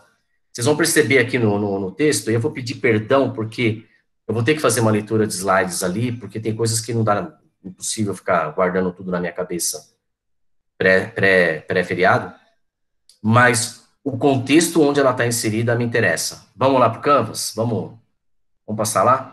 Daqui a pouco eu volto aqui para a gente poder... Professor, só... Oi, César. Então, é, eu me lembro também que naquela época a gente estudava bem mais, né? Eu, eu percebo que hoje em dia, talvez devido à tecnologia, a internet ela facilita muito, porém, eu vejo as crianças, os adolescentes, eles ficam a maior parte do tempo no celular, não há uma dedicação mesmo em aprender, né? Eu também conheço pessoas que estão se formando hoje e pessoas que se formaram há, há 20 anos atrás, 30 anos atrás, na mesma graduação. E se você for comparar uma com a outra, as que se formaram anteriormente, eles têm bem mais conceito, bem mais base do que as que se formam hoje. Eu vou, eu vou tentar justificar isso como um, com um equívoco que fizeram a partir da, de algumas teorias de educação, né? Então, e outra, né, é César, Vamos, vamos pensar pelo outro lado também? Vamos pensar pelo outro lado? Você lembra que na nossa época a gente tinha pessoas quase que adultas estudando com a gente, de tantos anos que esses caras reprovavam? Você lembra? Provavelmente, se você puxar pela memória, você vai lembrar de alguém lá, bem, bem velho, bem velho. Então é assim, o que eu acho que aconteceu foi uma distorção bem grande das teorias educacionais, até em função da abertura do país, e do, do tanto que, que foi imposto a mão pesada do regime nas salas de aula e nos movimentos de, de, de liberdade do povo. E aí a educação foi uma dessas. É, eu acho que é consenso para nós que somos mais velhos que o que acabou com a educação no sentido amplo foi essa história de aprovação continuada ou, ou não reprovação dos alunos, né? E aí a gente, vocês já devem ter tido esse debate aí na, na faculdade, provavelmente vocês estiveram lá em alguma disciplina, e entra a questão que é a seguinte, a gente volta para o mecanicismo da década de 60, 70 e começo da década de 80, eu pedi para o meu aluno fazer 30 vezes a mesma conta, ele vai aprender a fazer a conta. Entendeu, César? Ele vai, ou Patrícia, ele vai aprender a fazer a conta. Por repetição. Por repetição. E o que, que se pedia depois disso? Era para criar um contexto onde o aluno pudesse pensar a respeito daquela conta. E foi aí, a partir daí, que eu acho que, que as coisas começaram a desandar totalmente. As, o erro das interpretações dessas teorias de educação. Associa aí a uma formação de um professor é, que já não foi mais tão bem adequado assim. E aí me preocupa vocês, eu não, aí eu vou pedir perdão porque eu estou conhecendo vocês agora e não quero criar nenhum tipo de pré-julgamento, mas eu realmente não sei o professor que eu estou formando. Não sei, não sei. O que é pior, né? além de eu não saber o professor que eu estou formando, eu venho no momento na vida de vocês na faculdade em que eu peço para você quebrar mais ainda alguns paradigmas, né? Então, para que você respeite aquilo que o aluno sabe. De onde ele vem, para onde ele vai, o que, que ele carrega de matemática com ele. E aí, me perdoe, Patrícia, me perdoe, César. É, década de 80, década de 60, década de 70, você não era ninguém dentro de uma sala de aula.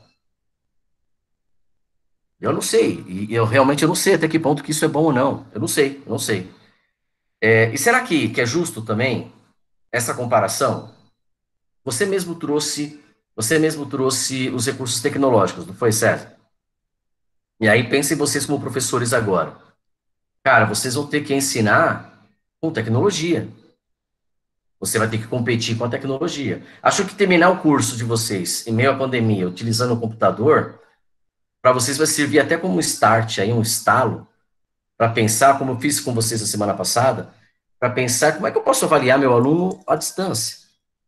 Eu vou pedir para ele fazer 50 vezes a tabuada do 9. Entendeu? Vocês conseguem entender onde eu quero chegar? Como é que você vai cobrar seu aluno? Será que você vai querer cobrar o seu aluno com a mesma é, bagagem que os seus professores te ensinaram? Cabe isso no mundo de hoje? Não sei. Não sei. Eu não sei. Eu não sei. Eu não sei. E aí a gente vai ter sérios problemas. Sérios problemas. É, eu concordo, eu concordo com o aspecto da quantidade de conhecimento adquirido, conteúdo adquirido, César, Patrícia. Não concordo com as questões é, em que eu posso olhar o meu aluno como um ser pensante a partir dali. Dá para entender isso? E é questão para a gente debater, hein? É questão para a gente debater e debater muito, tá? Uma coisa que eu não posso admitir de vocês, e aí eu não posso admitir de vocês, não posso. E tem a ver com uma frase sua, César. Eu não posso admitir que vocês saiam sem saber a profissão de vocês. Eu não posso admitir que você saia sem saber matemática. E eu tenho quase certeza absoluta que não foi na faculdade que você aprendeu matemática. Mas, professor, o aluno não se dedica. Então, Patrícia, mas que ferramentas que, ele, que eu tenho? Que professor que, que eu sou hoje para ele? Você vê, eu falei de um professor rigoroso, eu falei do meu professor dos anos 80, inserido num contexto que vem de ditadura, militar, regime pesado, e o respeito barra medo, barra respeito mesmo, que a gente tinha, é, que vinha de casa, e que nossos pais impunham para que a gente tivesse como professor. E hoje não é bem assim. Hoje o professor é hostilizado, velho. O professor não tem nem parte, nem um percentual pequeno lá do que o outro professor, do que o meu professor teve, em termos de respeito, em eu ter que abaixar o olho até assim, é, e tomar cuidado se ele encontrasse com a minha mãe na rua e tudo mais. E vocês são professores novos inseridos nesse contexto. Então, é, é para se perguntar, né? Que professor que eu quero ser para o meu aluno? Que professor que você pode ser dentro do sistema que você tem em mãos? E aí, César, Patrícia, a conversa é, é muito direto para vocês. A Pri, o Arthur, menos para Rebeca, menos para Tainara, menos para o Felipe, que, tão, que, te, que, que vão ter muito mais tempo, porque são muito mais novos. Eles vão ter muito mais tempo para se adaptar ao que se pede do professor do que nós, por exemplo. A gente está ferrado, velho. Eu falei para vocês, eu falei para vocês a semana passada que eu fui parar no colégio, no colégio particular e esse, esse, não sei se eu comentei ou não, acho que não. Cara, eu eu vou falar rapidão, vai, rapidão. Sabe onde eu me vi no começo do ano, desse ano, desse ano de 2020, pré-pandemia? Antes de estar na FAM, eu estava, estava num processo de, de transição entre faculdades, né? Vinha do ano passado. Eu me vi, eu me vi dando aula num colégio particular, em que a maioria dos alunos eram atletas, atletas esportivos. Cara, eu teria pedido demissão nesse período de pandemia se eu tivesse que dar aula à distância para esses caras. Eu era professor de matemática deles. Eu não consegui criar, Patrícia, ouve isso, César, ouve isso. Eu não consegui criar nenhuma empatia com o meu aluno, nenhuma. Vocês conseguem me ver, eu, Jefferson, pelo. Ó, a Patrícia tá aí todas as sextas-feiras, o César também. Vocês sabem é, é, o que é o Jefferson não conseguir criar empatia com um aluno? É possível imaginar isso? É possível, é possível imaginar eu não podendo conversar com o meu aluno, porque eu não tenho o que falar com o cara. Se eu tento entrar, se eu tento fazer uma brincadeira, uma gíria, eu vou passar vergonha. Foi assim que eu me vi no colégio, no colégio, nesse colégio particular, cara. E aí, não sei se vocês têm fé ou se vocês não têm fé. Eu acredito que a mão de Deus guia a gente por caminhos que a gente não percebe, né? E foi uma, uma questão de, assim, ó, de dias, de eu começar a lecionar e começar a pandemia. E assim que eu recebi o convite do, do professor da coordenação da engenharia, que já tinha trabalhado comigo, que já conhecia meu trabalho com a faculdade, foi questão de, sei lá, me ligar numa quinta, na segunda eu pedi a demissão nesse colégio, na segunda, na quinta-feira eu estava na FAM, na mesma semana, na quinta-feira eu estava na FAM, e na semana, na segunda semana, na semana seguinte, essa quinta-feira, sexta-feira, 13 de março, pandemia no mundo. Para se todo mundo vai dar aula de casa. E aí, velho? É a mão de Deus ou não é a mão de Deus para quem tem a fé ou, sei lá, daquilo que você acredita? Então, eu poderia hoje ter, estar batendo a cabeça aqui, tentando ensinar geometria para o meu aluno no modo à distância, cara. E um aluno que me odiava sem nem me conhecer. E esse era o meu contexto. Então, saber onde que eu tô no mundo, no tempo, no espaço, é importante para a gente tentar entender o que está acontecendo. Vamos lá para vamos lá para os anos 70, os anos 60? Ó, já vou pedir perdão, é vergonhoso que eu vou fazer aqui em algum momento com vocês, tá? Vocês vão ver alguns slides meus carregados aqui, mas a gente pode até fazer uma leitura junto, se for o caso, para ficar mais bacana. Vamos ver se vocês gostaram da apresentação. Ela é curta, tá? Ela é bem curta. Cara, é bem curta e a nossa aula tá comendo. Eu me empolgo demais falando com vocês, né? Deixa eu ver se ficou bonitinho o slide aqui. Deixa eu ver se ficou o formato que eu queria. Ah, ficou. Ó. Então, eu tô tentando trazer um pouco desse, desses momentos históricos aí que eu considero importantes, tá? para vocês no contexto da, da, da etnomatemática. Ó, quando? Quando? Pergunta que eu faço, quando? Deixa eu pegar aqui um lápis. Vou tentar colocar um amarelo para não atrapalhar. Período pós-Segunda Guerra Mundial. Tenta imaginar como está o mundo, tá?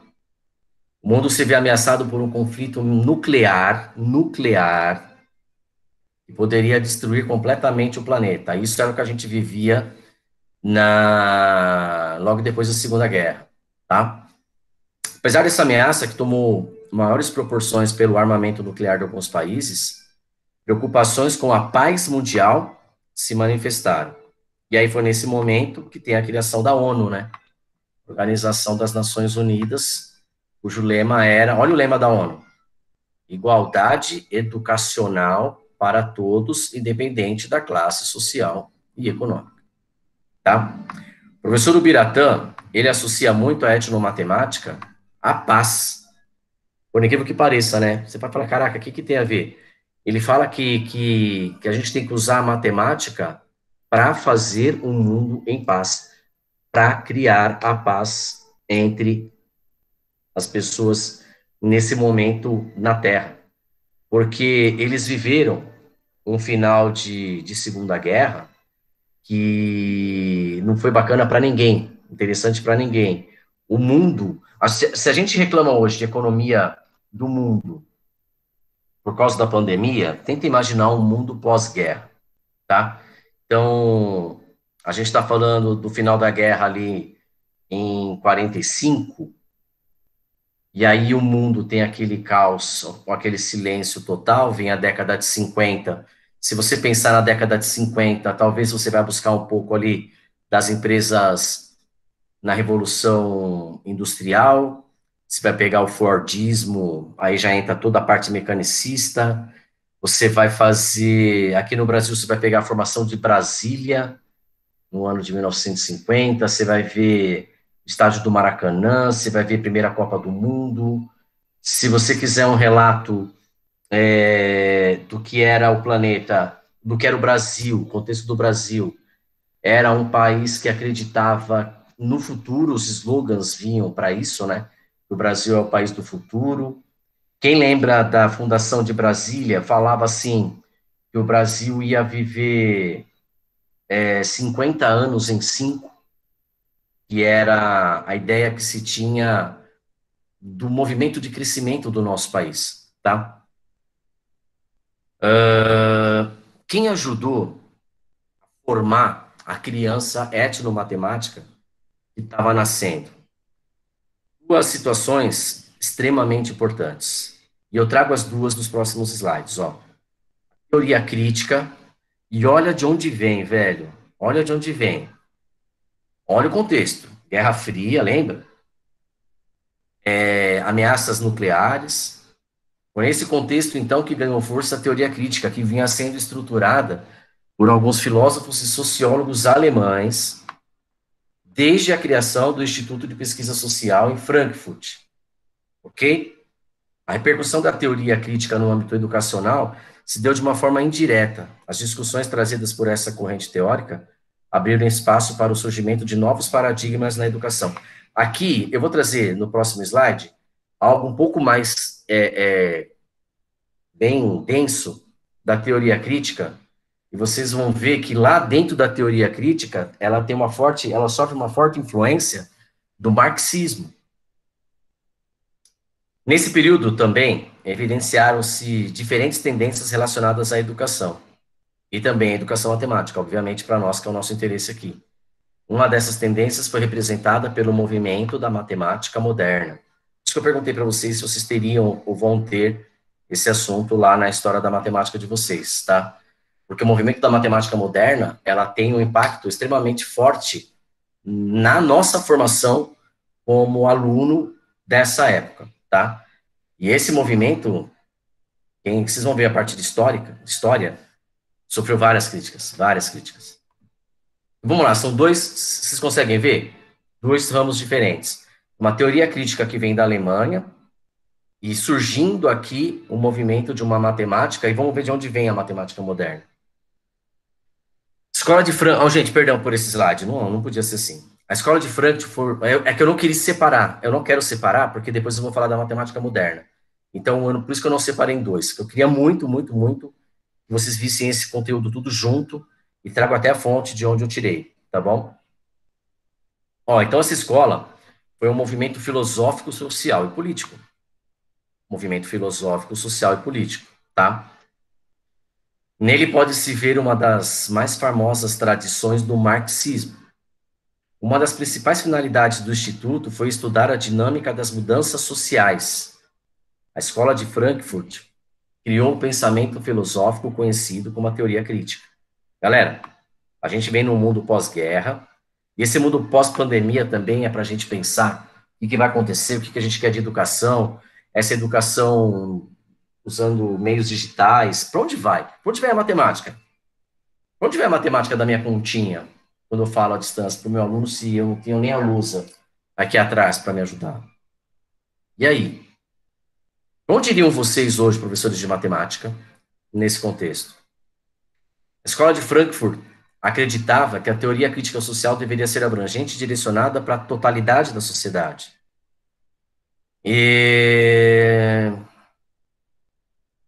existia no Brasil nessa época já uma divisão bem grande, né? do que a elite, do que eram as escolas de elite, do que não eram as escolas de elite.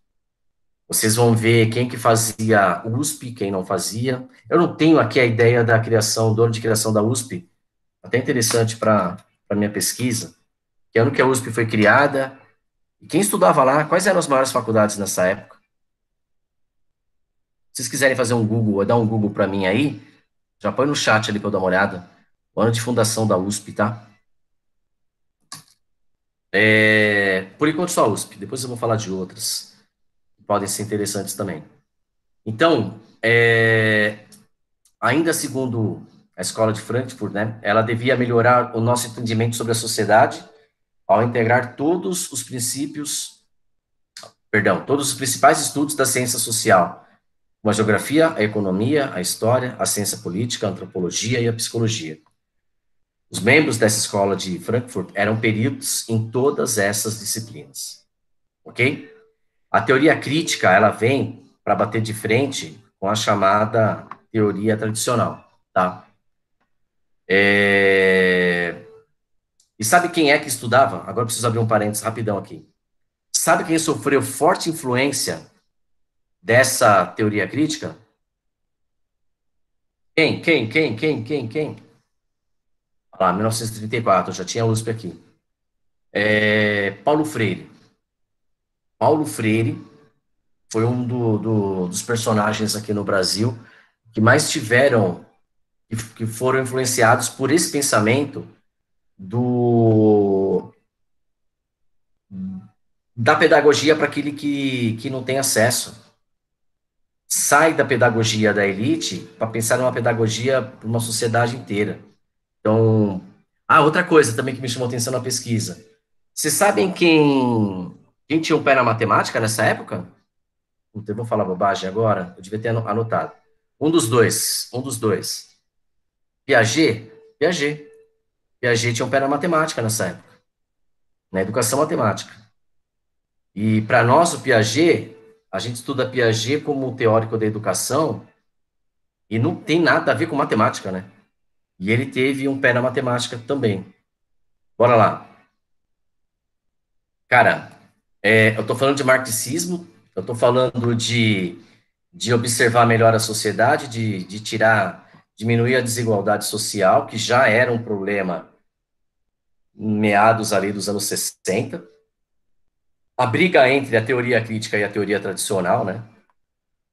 É, ela estava buscando uma sociedade racional e livre, pudesse pensar livremente, que atendia à necessidade de todos, todos, todos. É nesse sentido que a teoria crítica é crítica.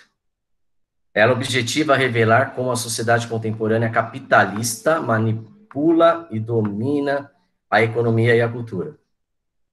Isso está com cheiro de esquerda, não está? Um cheiro de esquerda forte, não é?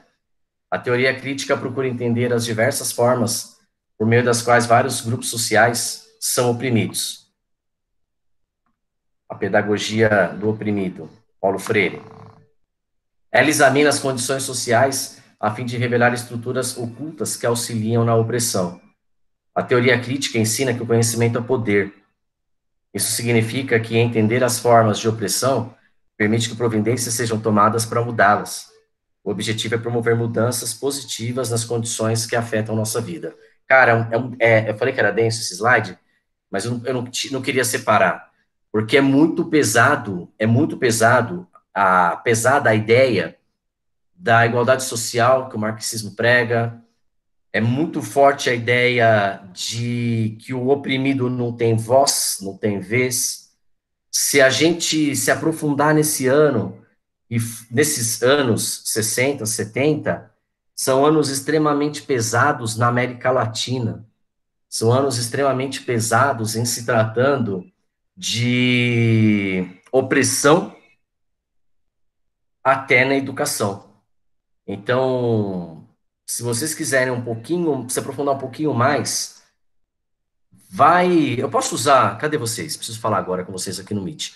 Posso usar um exemplo do futebol, eu gosto bastante, posso? Se vocês tiverem, não sei quem gosta de futebol, que solta um eu aí, vai, só para ver quem é que tá, pelo menos acordado comigo, e que gosta de futebol, por favor, solta um eu aí. Quem gosta de futebol? Eu vou indicar para vocês uma série na, na Netflix que trata dos campeões da Copa, tá? É bem legal essa série, bem legal de assistir. Mas procura assistir com, tira o olhar do esportivo e procura assistir com um olhar de aluno que quer aprender um pouco de história de contexto. Vão estudar, vão, vão, vão ler, vão pesquisar o que aconteceu na Argentina no ano de 1978. A Argentina foi campeã do mundo em casa e, ao mesmo tempo, havia as mães procurando os filhos que haviam sumido durante o regime militar imposto na Argentina. Chama-se os campeões, os campeões da Copa, alguma coisa assim, Pri. Os campeões da Copa. Procura o episódio, é, acho que são, são oito campeões, se eu não estou enganado, ou nove no máximo. Procura o, o, o, o que fala sobre a Argentina, para você entender o que, que era a Argentina. Tem um, um, um, documentário da ESPN, esse eu não tenho acesso, eu não sei onde eu vou achar, mas é um cara que eu gosto, eu ouço o podcast dele. Ele fala dos anos de chumbo, chama-se Anos de Chumbo, tá? em que os estádios de futebol eram usados, por exemplo, para para abrigar preso político, tá bom? Professor, mas o senhor é esquerdista, marxista, leninista? Cara, nem esportista, tô com uma barriga violenta. Eu não sou nem tenista, não sou, não sou nadaísta, cara, não sou. Tive a minha, as minhas paixões pelos meus professores que me fizeram me apaixonar entender o que, que era na época esquerda e direita, o que, que era capitalismo, o que, que era socialismo, até que você começa a trabalhar, até que você começa a crescer financeiramente, até que você começa a, a ver que tem podridão dos dois lados e você começa a pensar por conta própria. Então, hoje, nem direita nem esquerda, nem direita e nem esquerda para mim, tá? Uh, viram a influência do marxismo na teoria da escola crítica? A gente está falando de Alemanha pós-guerra, Alemanha destruída, tentando se renovar, tentando ver como é que a sociedade. A Alemanha ainda era dividida nessa época em oriental e, e ocidental. O Muro de Berlim, se eu não estou enganado, em 89 que ele cai, né? Em 89 que há o rompimento, e aí de vez a, a, a ideia de socialismo no planeta indo para o espaço, justamente marcando ali um, a queda do Muro de Berlim. É, a, a, diferença né, gravíssima do que acontece em uma Alemanha e na outra Alemanha. Os filmes, qualquer filme que você quiser, é, Estados Unidos e União Soviética numa guerra chamada Guerra Fria, mas que tomava conta e deixava a gente com bastante medo, né, de uma provável terceira guerra mundial, até que o socialismo por si próprio se desmonta e morre, né, por, por incompetência deles próprios. Mas o que o Marx, se alguém parar para ler um dia o que o, Mar, o Marx escreve, o Karl Marx escreve, é fantástico o que ele pensa. Jefferson, é o Jefferson falando agora, não é o professor de ética matemática, não, é o não dá para dissociar. O Jefferson leu um livro chamado A Revolução dos Bichos. Eu. Você vai entender porque o socialismo dá errado. A Revolução dos Bichos, do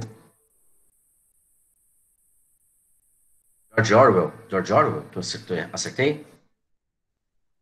Não, não, não, vou falar o autor. A Revolução dos Bichos. Deixa eu pegar o, o autor. O Orwell não é do, de 1984? Revolução dos Bichos. George Orwell mesmo, é ele mesmo. Tem uma frase, tem uma frase que eu gosto muito no livro dele que fala assim: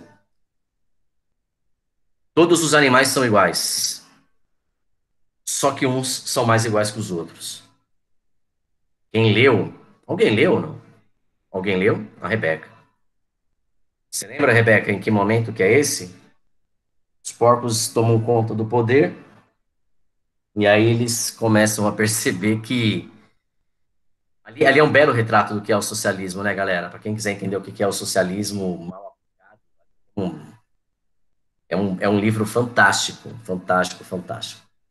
E os porcos eram os, os líderes da, da bicharada toda. Então, na série de leis, começou com todos os animais são iguais, até que termina com todos os animais são iguais, só que uns são mais iguais que os outros, tá? Fica aí a, a dica de leitura para vocês. E foi aí, Rebeca, nesse momento, em que você começa a perceber que o socialismo não é nada disso, né? Ou as ideias do socialismo, quando mal aplicadas, não são nada disso. Turma, eu acho muito perigoso quando nós, professores, e a gente vive isso, né? Quando a gente faz um viés político para a educação. Não, que a gente tem que ser de esquerda, que professor é de esquerda. Eu fiz, perdi vários amigos nessas últimas eleições. Os caras juravam que eu era petista, juravam que eu era petista.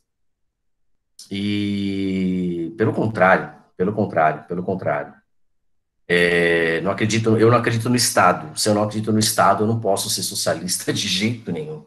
Eu não acredito no Estado, eu não acredito em Estado me dando benefícios, não acredito em nada disso. Eu acredito que cada um tenha que crescer pelo seu mérito. É óbvio que, se a gente for pegar questões de roubo de políticas públicas, o mérito é tirado de muitas pessoas. Mas vamos, vamos aprofundar um pouco melhor essa ideia? Uh, todo mundo aqui teve as mesmas oportunidades? Solta um sim ou não aí. Você acha que você teve todas as oportunidades é, que você podia ter?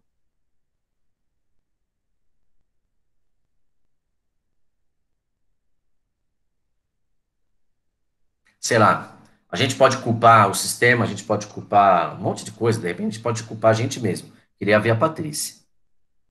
Preciso ouvir a Patrícia, preciso ouvir a Priscila. Será que todo mundo teve as mesmas oportunidades e foi a gente que não aproveitou? Será mesmo? A Patrícia, a Patrícia teve a oportunidade de passar na FUVEST, lembra quando ela contou a história para nós? E ela ter sido aprovada na USP. E ela não foi fazer, porque ela, uma, ela teve uma escolha, ela teve que escolher sobrevivência, né? Ou estudo. Isso são condições iguais? Será? Eu não sei vocês. Eu não sei. Cadê a Patrícia, gente? Eu não sei vocês. Cara, a Patrícia foge, que é quando eu preciso dela. Se ela já caiu aqui. Ah, tá aqui. Ó. É, quando a gente fala de, de, de privilégios, quando a gente fala de que todo mundo teve as mesmas oportunidades, basta a gente pensar e eu, por exemplo, eu, eu, eu sou mais velho de vocês. Eu vim da escola pública. E não passei nem perto da USP, cara. Nem perto. Eu cheguei a contar, né? Uma única oportunidade, um único vestibular. Eu nem fui ver a resposta. Nem fui ver o resultado. Saí humilhado da prova da FUVEST. E a única escola pública que eu podia estar perto, mas eu não era capaz de, de, de entrar, até pela concorrência também, e, e, era onde tinha curso que me interessava, era a FATEC. Era a única. Era a única. Então era assim, é, a, a, havia, na minha época, pegando os anos 80, a desigualdade social. Havia, havia, havia. Havia pobreza, havia riqueza, havia gente com mais, havia gente com menos, como é hoje. Talvez a, a, a, a gente tenha se distanciado um pouco mais hoje entre os mais ricos e os mais pobres, né? Tem aumentado os mais ricos, mais ricos ainda, os mais pobres cada vez mais pobres, e nesse meio tempo o nosso aluno, nesse meio tempo, nesse intervalo aí de classes, o professor inserido ali dentro, tá? É... Mas é velada, né? É. E aí quem... E aí normalmente a, a quem fala de desigualdade social hoje provavelmente vai, ter vai ser taxado de político de, de esquerda. Vai ser taxado de político de esquerda. Talvez falem que o racismo é vitimismo. Eu peguei um artigo esses dias do cara reclamando do movimento Black Lives Matter. Cara, é, é sei lá. Não sei. Eu não coloquei, eu não coloco aquela, aqueles selinhos no meu Face, eu não faço essas coisas por, por mim, por mim. Porque depois eu, eu não quero ter que me justificar, entendeu? Eu não gosto de ser levado pela massa. Eu não gosto, não gosto. Prefiro o meu isolamento. É...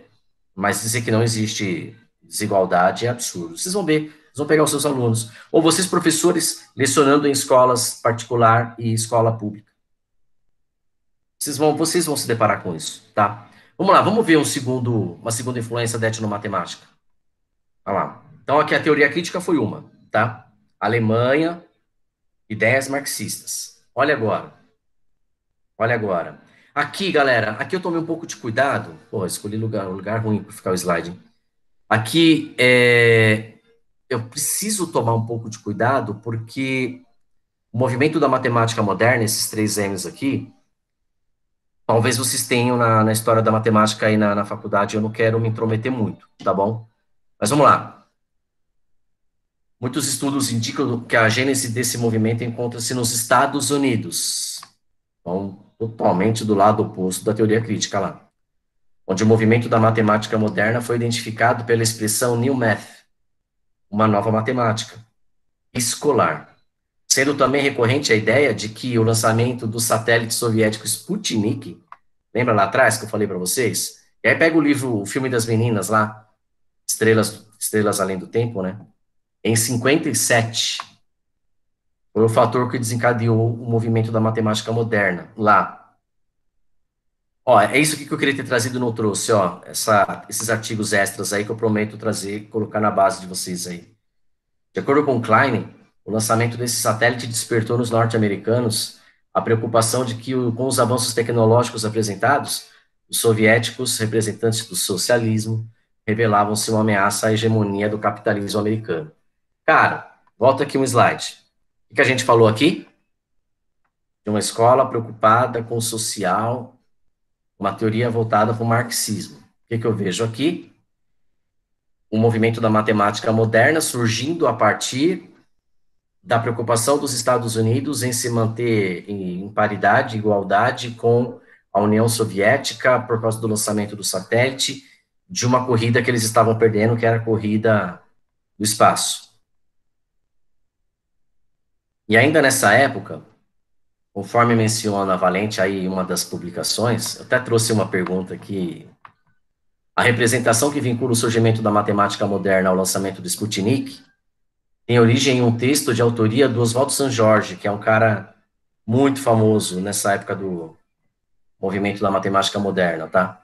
Publicado no Brasil em 60, na revista Atualidades Pedagógicas, intitulado Curso de Verão no qual o professor brasileiro descreve sua experiência no curso que realizou nos Estados Unidos.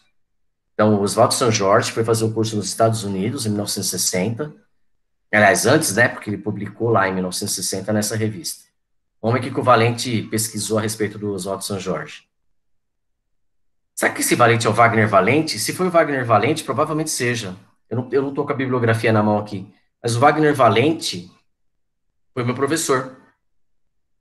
Foi meu professor de história na PUC, Wagner Valente. Vou pesquisar para ver se foi ele mesmo. Wagner Valente foi meu professor de história da matemática. Olha aí, que bacana. Homenageando o meu professor. No texto, o Oswaldo São Jorge cunhou uma das representações que serão propagadas nos estudos posteriores sobre o que ficou conhecido como o movimento da matemática moderna. O interesse estadunidense na modificação dos programas e métodos de ensino de matemática e ciência como fruto da Guerra Fria. Que maluco, cara. Olha, olha, onde a gente foi parar. Aí eu faço essa pergunta, oi? Olha onde a gente foi parar. Olha onde a etnomatemática surge. Em que, em que contexto mundial estava acontecendo esse movimento da etnomatemática. Viu que, que polarização que era? Eu fiz uma brincadeira aqui, ah, os anos 70, hein? Eita, Woodstock, Janis Joplin, minha cadela chama-se Janis Joplin. É, drogas. Aqui a gente já não tinha os Beatles, mas a gente tinha um rock inglês fortíssimo. E muita droga envolvida nessa época aqui. E anos 70. O movimento da matemática moderna teve seu apogeu entre os anos 60 e 80. 20 anos aí de, de movimento de matemática moderna sendo que já na década de 70 o movimento começou a arrefecer internacionalmente, inclusive no Brasil. Um dos fatores que contribuiu com a intensificação das críticas ao movimento da matemática moderna foi a publicação, em 76, do livro O Fracasso da Matemática Moderna, uma tradução do livro Why John Can't Add, The Failure of the New Math 10. Originalmente lançado em 1973, ano do nascimento do professor Jefferson, pelo professor norte-americano Morris Klein. Klein foi identificado por Miorinha, lá, bibliografia tem que trazer, como um dos críticos da matemática moderna nos Estados Unidos, que combatia os exageros cometidos por essa proposta desde o início dos anos 70. O exagero está no mecanicismo, né, galera? E aí, uma provocaçãozinha. Hum. A partir da década de 70, então, a época em que tem início a abertura do regime político autoritário instalado em 64 aqui no Brasil. Não sou eu que estou dizendo, tá? Quem está dizendo é Veiga, lá em 2004, tá? É ele que está dizendo. Não foi eu que disse que teve ditadura no Brasil, não, tá? Tem gente que nega, né? Críticas afirmando que os conceitos abstratos não deveriam ser explorados no nível elementar, pois além de confundir a cabeça dos alunos, estimulavam sua aversão pela matemática. Então não se trabalhava com abstração, não se trabalhava com abstração.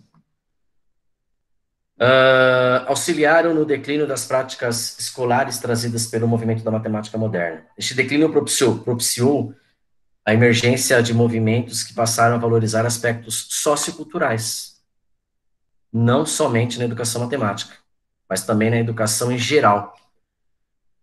E aí entra um outro movimento que é chamado educação crítica, que passou a valorizar as relações entre o professor e aluno na sala de aula. Para aqui, para aqui, para aqui. E aí, talvez, Patrícia, talvez seja aqui o momento. Talvez seja nesse momento, em que, ah, ô César, talvez seja aí. Talvez seja esse o momento em que há aquela ruptura gigantesca na forma de conduzir as aulas na sala de aula na, sai da matemática mecanicista e entra na matemática em que privilegia o que o aluno tem a dizer. Formas de conduzir o pensamento do aluno no, no saber matemático. E aí, cara, é, eu acho que eu vou, eu vou fazer um teste matemático com vocês aqui, sem, sem caráter de avaliação. Solta um eu aí primeiro, quem está prestando atenção nesse trecho da aula, que é importante para mim. E aí vocês vão entender a diferença entre o mecanicismo e o pensar sobre. Tô dando spoiler já do que eu vou fazer, né? Mas solta um eu aí, vai.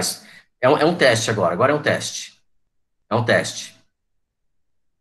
E aí é um teste onde eu preciso muito é, mexer é, é, e sacudir você como professor de matemática.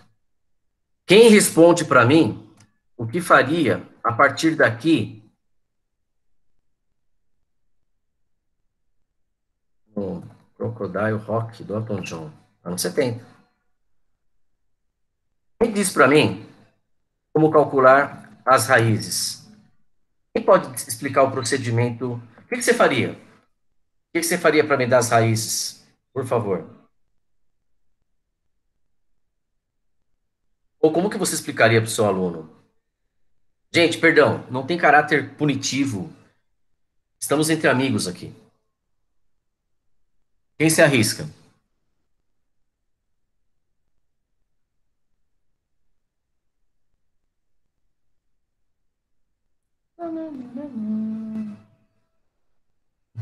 Felipe, o que, você faria? Felipe Vulgo Wagner. Rebeca, o que, que você faria? Arthur, o que, que você faria? Tainara, o que você faria? César, quais são as raízes? Como é que você explicaria para o seu aluno como é que você chega nas raízes? Cauã, tá todo mundo aqui hoje? Tem gente pra caramba aqui no Meet hoje. 12? 11? Tainá, Tainá tá tão quietinha ali. Tiago? Pati? Li? E aí? Coloquei vocês numa saia justa agora, né? E aí? Quem se arrisca? Só para só vocês entenderem o, a, a, diferença entre o caráter mecanicista da, da, da, da, matemática com a evolução do pensamento, do abstrato e tudo mais. Eu preciso desse exemplo. Gente, alguém? Se alguém falar não sei, também serve. Não sei resolver, serve também. E aí fica uma dica para no outro momento, a gente ajudar. E isso a faculdade vai te dar. Isso agora a faculdade vai te dar. E ó, só para contextualizar, eu dei esse exemplo hoje de manhã para minha sala, uma turma de química. Uma turma de química. Uma turma de química. Engenharia química. Caras que amam contas. Ô, gente, ninguém, ninguém vai se arriscar?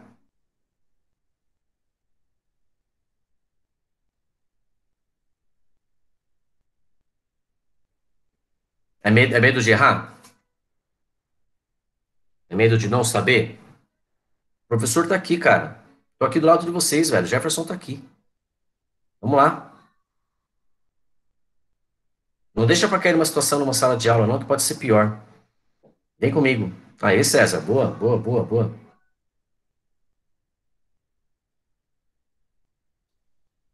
Ô, César, deixa eu te explicar então, vai, já que você é o cara.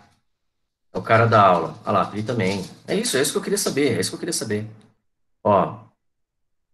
Sabe o que, que, o que, que a maioria do, de nós professores ia pedir para o nosso aluno nesse momento? Ele ia falar assim, ó, distribui aqui, faz a distributiva e depois resolve o delta e o báscara para mim. Sim ou não? O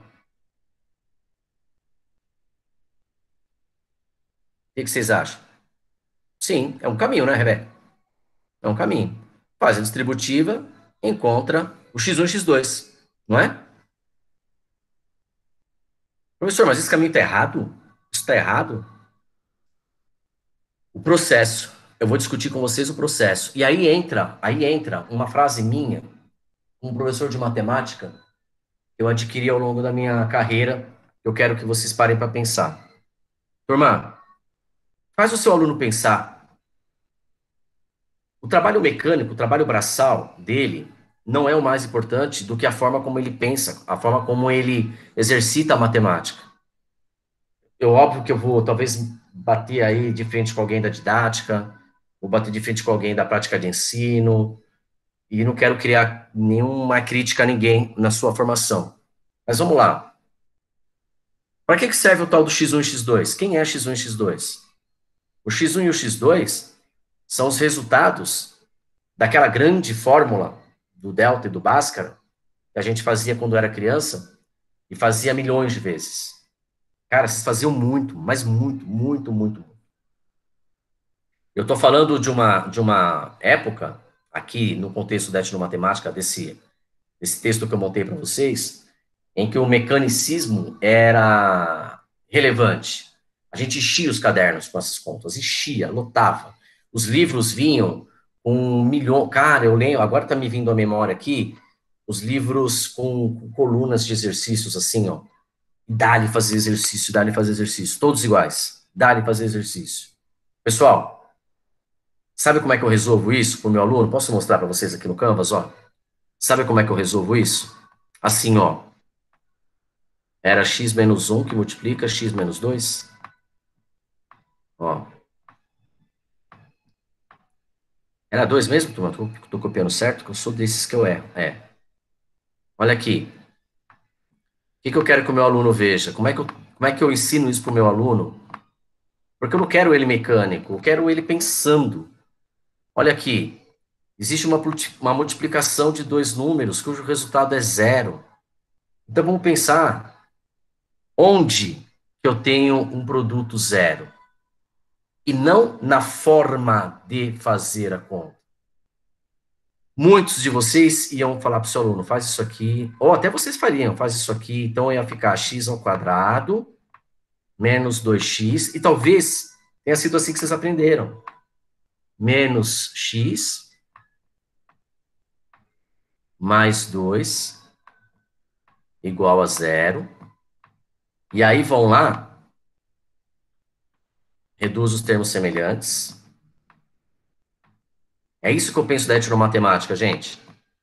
É a matemática da cultura do meu aluno, a cultura que me formou. Olha lá. E aí, você vai fazer delta. Cara, vocês cansaram de fazer isso na vida. B ao quadrado. E outra, é assim mesmo. Escreve a, escreve a fórmula e começa. B ao quadrado menos 4A vezes C. Olha o tempo que eu estou levando para fazer isso. Eu não tenho exemplo melhor para te dar do que essa década de 70 fez com a gente. Aí, Patrícia, você vai falar, Pô, mas a gente sabia nessa época. A gente fazia isso. A gente não sabia. A gente era, a gente era mecânico. 9 menos 8. Posso usar esse espacinho aqui? 1. E aí, você vinha para a fórmula do x Vou pedir perdão, vou passar por cima aqui. Menos B. Eu vou ganhar tempo aqui, tá? Menos, menos 3. Mais ou menos a raiz do delta. E dividido por 2A. Também vou ganhar aqui, ó. Isso a gente não era permitido fazer, não, cara. Você tinha que copiar aqui embaixo. Dividido por 2A, assim, ó. Por 2A. Imagina que você vai colocar um parênteses, subir a linha. Não, não, não. Era a barra aqui embaixo já era. Quem vai ser meu x, então? 3 mais ou menos 1 sobre 2. Raízes. x1 4 dividido por 2. x2. 3 menos 1, 2 dividido por 2. Pessoal, todo o processo foi certo aqui, não foi? Cadê vocês aqui no Meet? Todo o processo foi certo? Solta um sim ou não para mim, por favor. Igual a 2, x2 igual a 1. Quem que tá fazendo isso aí? Nossa, cara, se eu tivesse olhado aqui, eu não tinha feito lá. O César. César, foi brilhante aqui. Agora volta na pergunta, meu irmão. Volta na pergunta, ó. Volta aqui. Pergunta que eu te fiz, posso, pode usar o do exemplo do Campos? A pergunta que eu te fiz foi essa aqui, César. Eu quero as raízes da equação x menos 1, x menos 2 igual a zero. Sabe o que, o que, que te esqueceram de falar para nós, César? e que eu, eu, eu insisto com o meu aluno nisso, isso aqui eu não permito mais que ele faça. Não permito mais que ele faça. Por quê? Porque ele tem que bater o olho aqui e saber o que, que ele vai fazer, César. Existe um produto de dois números cujo resultado é zero. Onde que, onde que acontece isso? Quando o primeiro é zero, ou quando o segundo é zero, ou quando ambos são zero. Então, o que, que eu tenho que fazer? Eu só preciso descobrir por quem eu troco esse x para que o primeiro parênteses dê zero. Alguma coisa menos 1 dá zero. Então, quem é que eu devo colocar no lugar desse x? 1? Por que 1, professor? Porque se você colocar 1 aqui, 1 menos 1 é zero. Tá, e x menos 2? Quem é que eu devo colocar no lugar do x para que eu zere esse parênteses? Por que, que eu quero zerar o parênteses? Porque o produto deu zero. Então, pode ser que seja o zero aqui.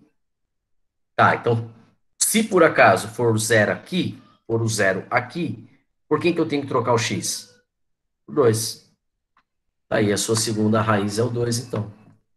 Você descobriu as raízes da equação do segundo grau. E não fez isso aqui. E aí? E agora? E agora? Falem comigo. Quanto tempo eu levei fazendo? É, como que eu mostrei? Como que eu mostrei a forma de pensar o que era a equação do segundo grau para o meu aluno? Como é que eu mostrei para ele o que, que eram as tais raízes? O que, que ele estava buscando? E depois ele vai usar esse x1 e x2 para fazer desenho de parábola, que é onde cruza o eixo x.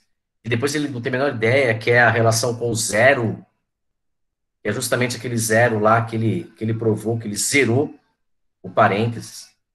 E aí, solta um eu aí se você entendeu o que eu fiz ali.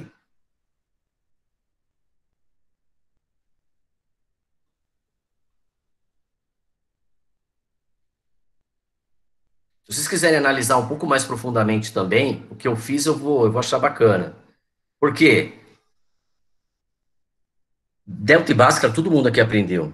Acho que até os pais de vocês vão lembrar. E vão lembrar porque fizeram muito, fizeram muito, muito, muito. Era mecânico, era mecânico, era mecânico, era mecânico o tempo todo.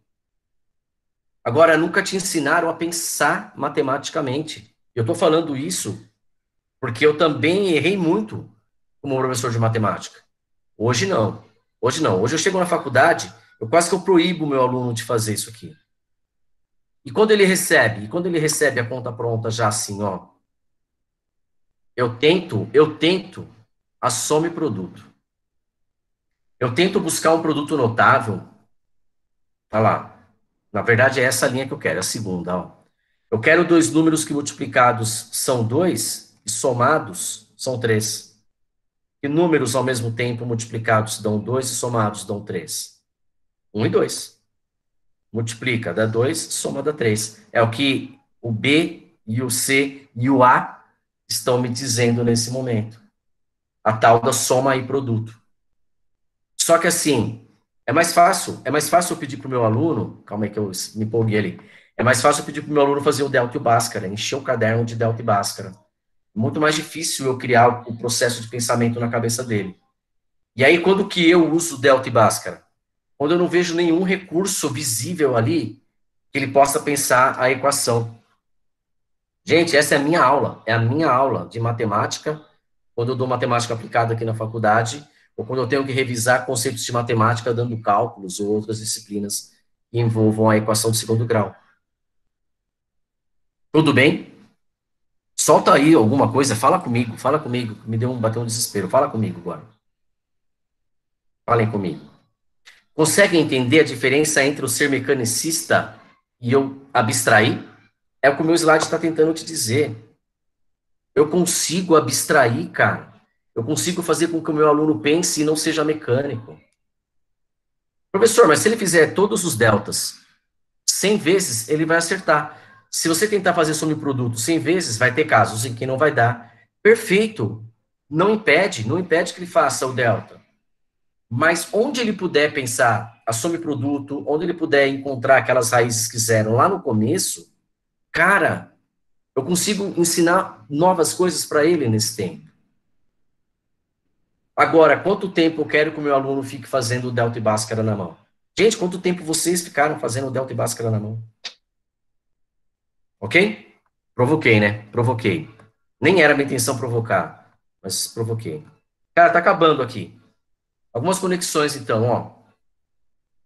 Dessa, dessa, dessas ideias que a educação crítica traz, especificamente voltado para a educação matemática, é onde começa a surgir a tal da etnomatemática e a educação matemática crítica.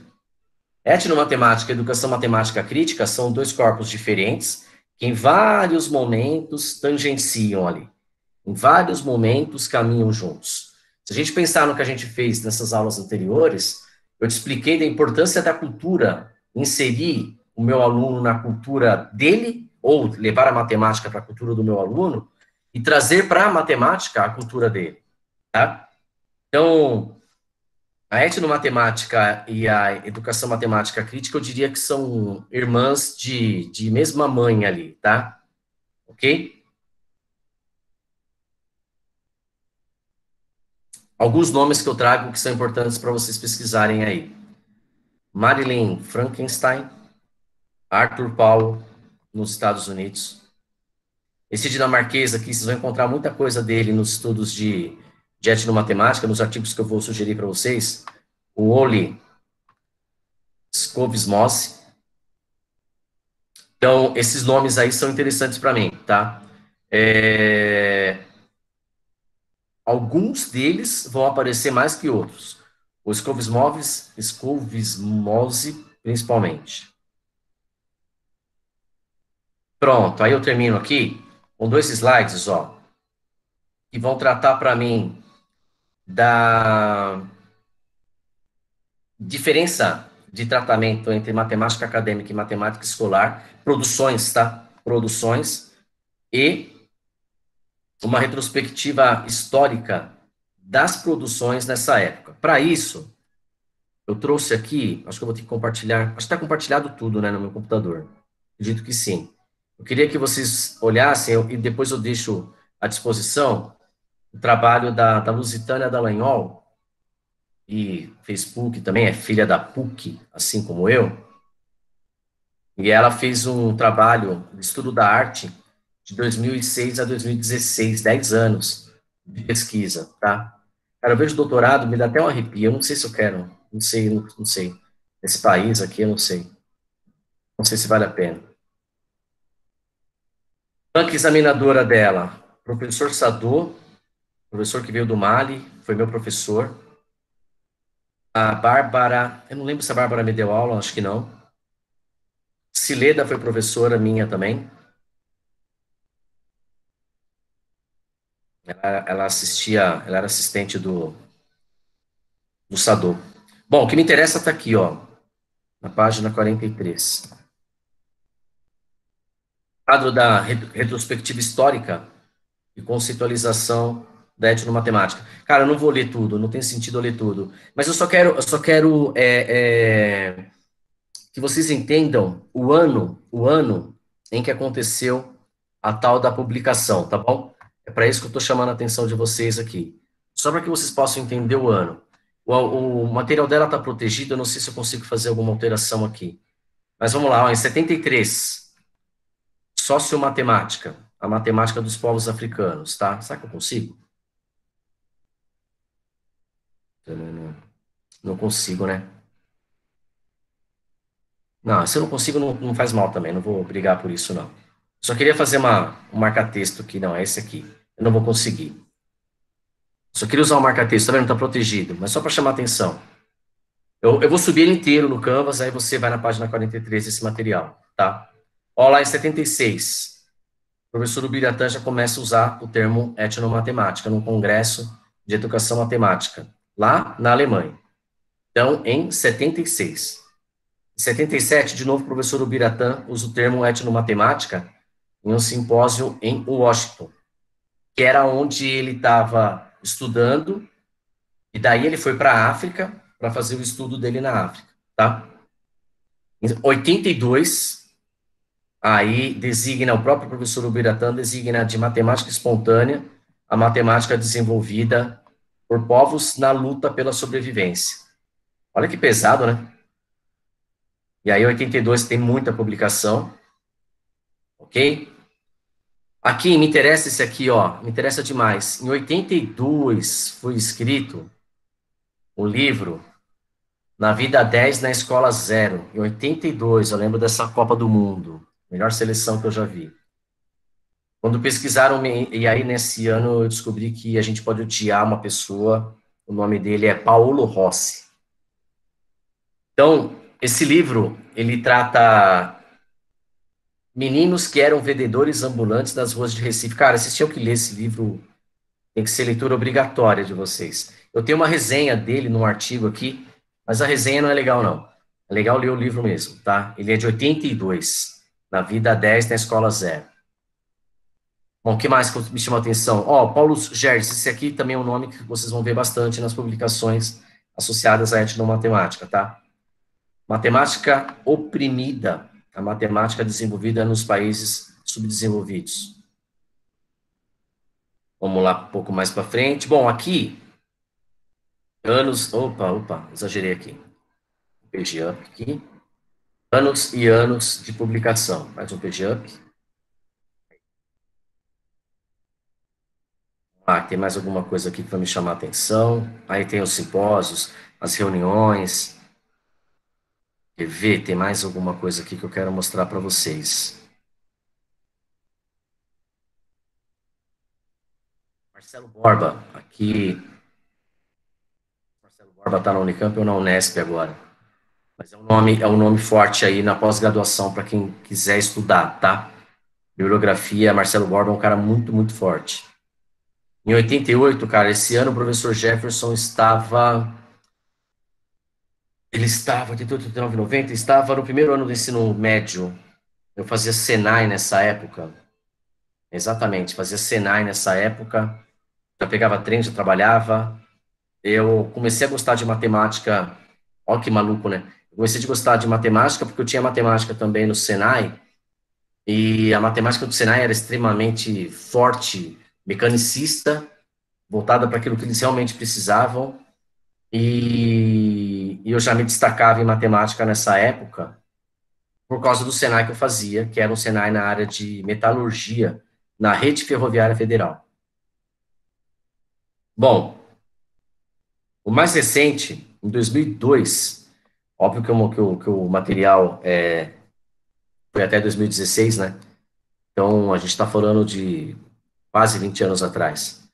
O professor Ubiratã, então, Definiu a etnomatemática como um ambiente natural, social, cultural e imaginário de explicar, aprender, conhecer e lidar com modos, estilos, artes, técnicas. Vocês lembram da definição? O ambiente natural, social e cultural é o etno. De explicar, aprender, conhecer é o matema. As artes e técnicas que ele chama de tica. Bom, eu vou parar por aqui. Eu queria, eu queria mostrar um outro quadro, mas isso pode ficar para um outro momento. up aqui. Nesse quadro ele fala da retrospectiva. Vou me despedir, tá? Falei que tá, falei que hoje não era legal, né? Falei que hoje era pesado. Só um pouquinho, deixa eu pegar o comecinho aqui, ó. A retrospectiva teórica e conceitualização da etnomatemática. Uma pena que eu não consigo esses quadros, só os quadros para mandar para vocês seria bom demais vocês terem acesso, seria, tá? Deixa eu começar o processo de me despedir. E aí? Cortou o áudio? Eu não sei o que, que você ouviu agora, hein, Priscila? Mas eu já estou me despedindo aqui de vocês. Falem comigo, falem comigo. Eu falei que era pesado, né? Falei que era um pouco pesado, o Arthur que chegou hoje aí. Falei que era um pouco pesado, aí envolveu teoria, leitura de slide, mas eu gostei do enriquecimento que vocês me trouxeram. Uh, vocês estão bem? Vocês estão bem? As outras não foi tão pesado não, viu, Arthur? Essa, essa tinha que ser porque a, eu tinha que contextualizar de onde vem, né? De onde a matemática, a etnomatemática aparece. Vocês viram a confusão que foi, cara? E o que teve de influência? E o que era o mundo naquele momento? Então é assim, não dá para a gente não olhar a, a, essa grande luta de classes, né? Que se torna é, importante no contexto da educação. E uma luta que a Patrícia, acho que a Patrícia fala bem, numa luta que hoje está velada, né? Hoje não é nítida, mas ela está lá, ela existe. E o seu aluno está lá. E o seu aluno está esperando alguma coisa de você. Ok? Ô, pessoal, presta atenção em mim aqui, rapidão. Queria muito olhar para vocês. Queria muito olhar para vocês no olho agora aqui na câmera. Quando eu trouxe a. Eu vou, eu vou me olhar aqui, vai. Quando eu trouxe a expressão matemática lá. Aí, Pri. Quando eu trago a expressão matemática para vocês e peço para vocês desenrolarem, eu faria isso muito na nossa aula, muito na lousa. Eu queria muito ver vocês na lousa. Eu quero ver, eu quero ver vocês apresentando alguma coisa para mim. Eu quero ver vocês matematizando alguma coisa. Por quê? Porque eu vou poder dar as dicas para vocês da postura, do segurar o giz, do corporal, é, do desenrolar da matemática, do pensamento matemático, como você poderia fazer aquilo de forma diferente. Eu não quero mais, eu não quero ser o seu professor de didática, você já teve didática, provavelmente. Mas eu tenho muito para te ajudar, com dica, com informação, com conteúdo, com postura, com um monte de coisa que vai além da etnomatemática. Vocês fazem parte do meu ambiente cultural. Vocês são meu etno, tá? E a técnica, um pouco da técnica eu posso te dar. Quando eu te trago aquela expressão do segundo grau para você desenrolar, não era para te constranger, muito pelo contrário. Mas era para te mostrar o que, que vem do mecanicismo, do que vem para o abstrato, do pensamento geral que me tiraria da forma mecânica de fazer a conta. Fazer a conta mecanicamente está errado? Não. Mas para que, que eu vou fazer a conta mecanicamente se eu posso pedir para o meu aluno pensar primeiro, ele entender o que eu quero perguntar, ele entender a situação proposta daquelas equações ou daquela equação, e a partir dali eu posso pedir para ele fazer outras coisas, para ele pensar a matemática de forma diferente, tá bom? Então, em nenhum momento foi para constrangê-los se você se sentiu assim, eu vou pedir desculpa, mas não foi para isso, tá? Vou desligar a gravação, vocês estão muito quietos aí. Eu sabia que ia ser pesado hoje, eu estou sentindo isso como uma... Terminei a gravação aqui do Canvas, tá? Sentindo isso como uma crítica à minha aula, uma crítica velada, e vou usar essa expressão por muito tempo. Vou subir a conferência no Canvas, mas ela fica lá 14 dias apenas, Conferências. Ô, gente, não tem como escapar, né? Vocês Leitura de artigo, essas coisas todas aí não tem muito como escapar, né? Precisa. Precisa. Posso falar tchau? E desejar um excelente feriado para vocês? Vou encerrar a gravação aqui. A gente só se despede agora sem a gravação. Estopei a gravação. Vou tentar subir hoje ainda.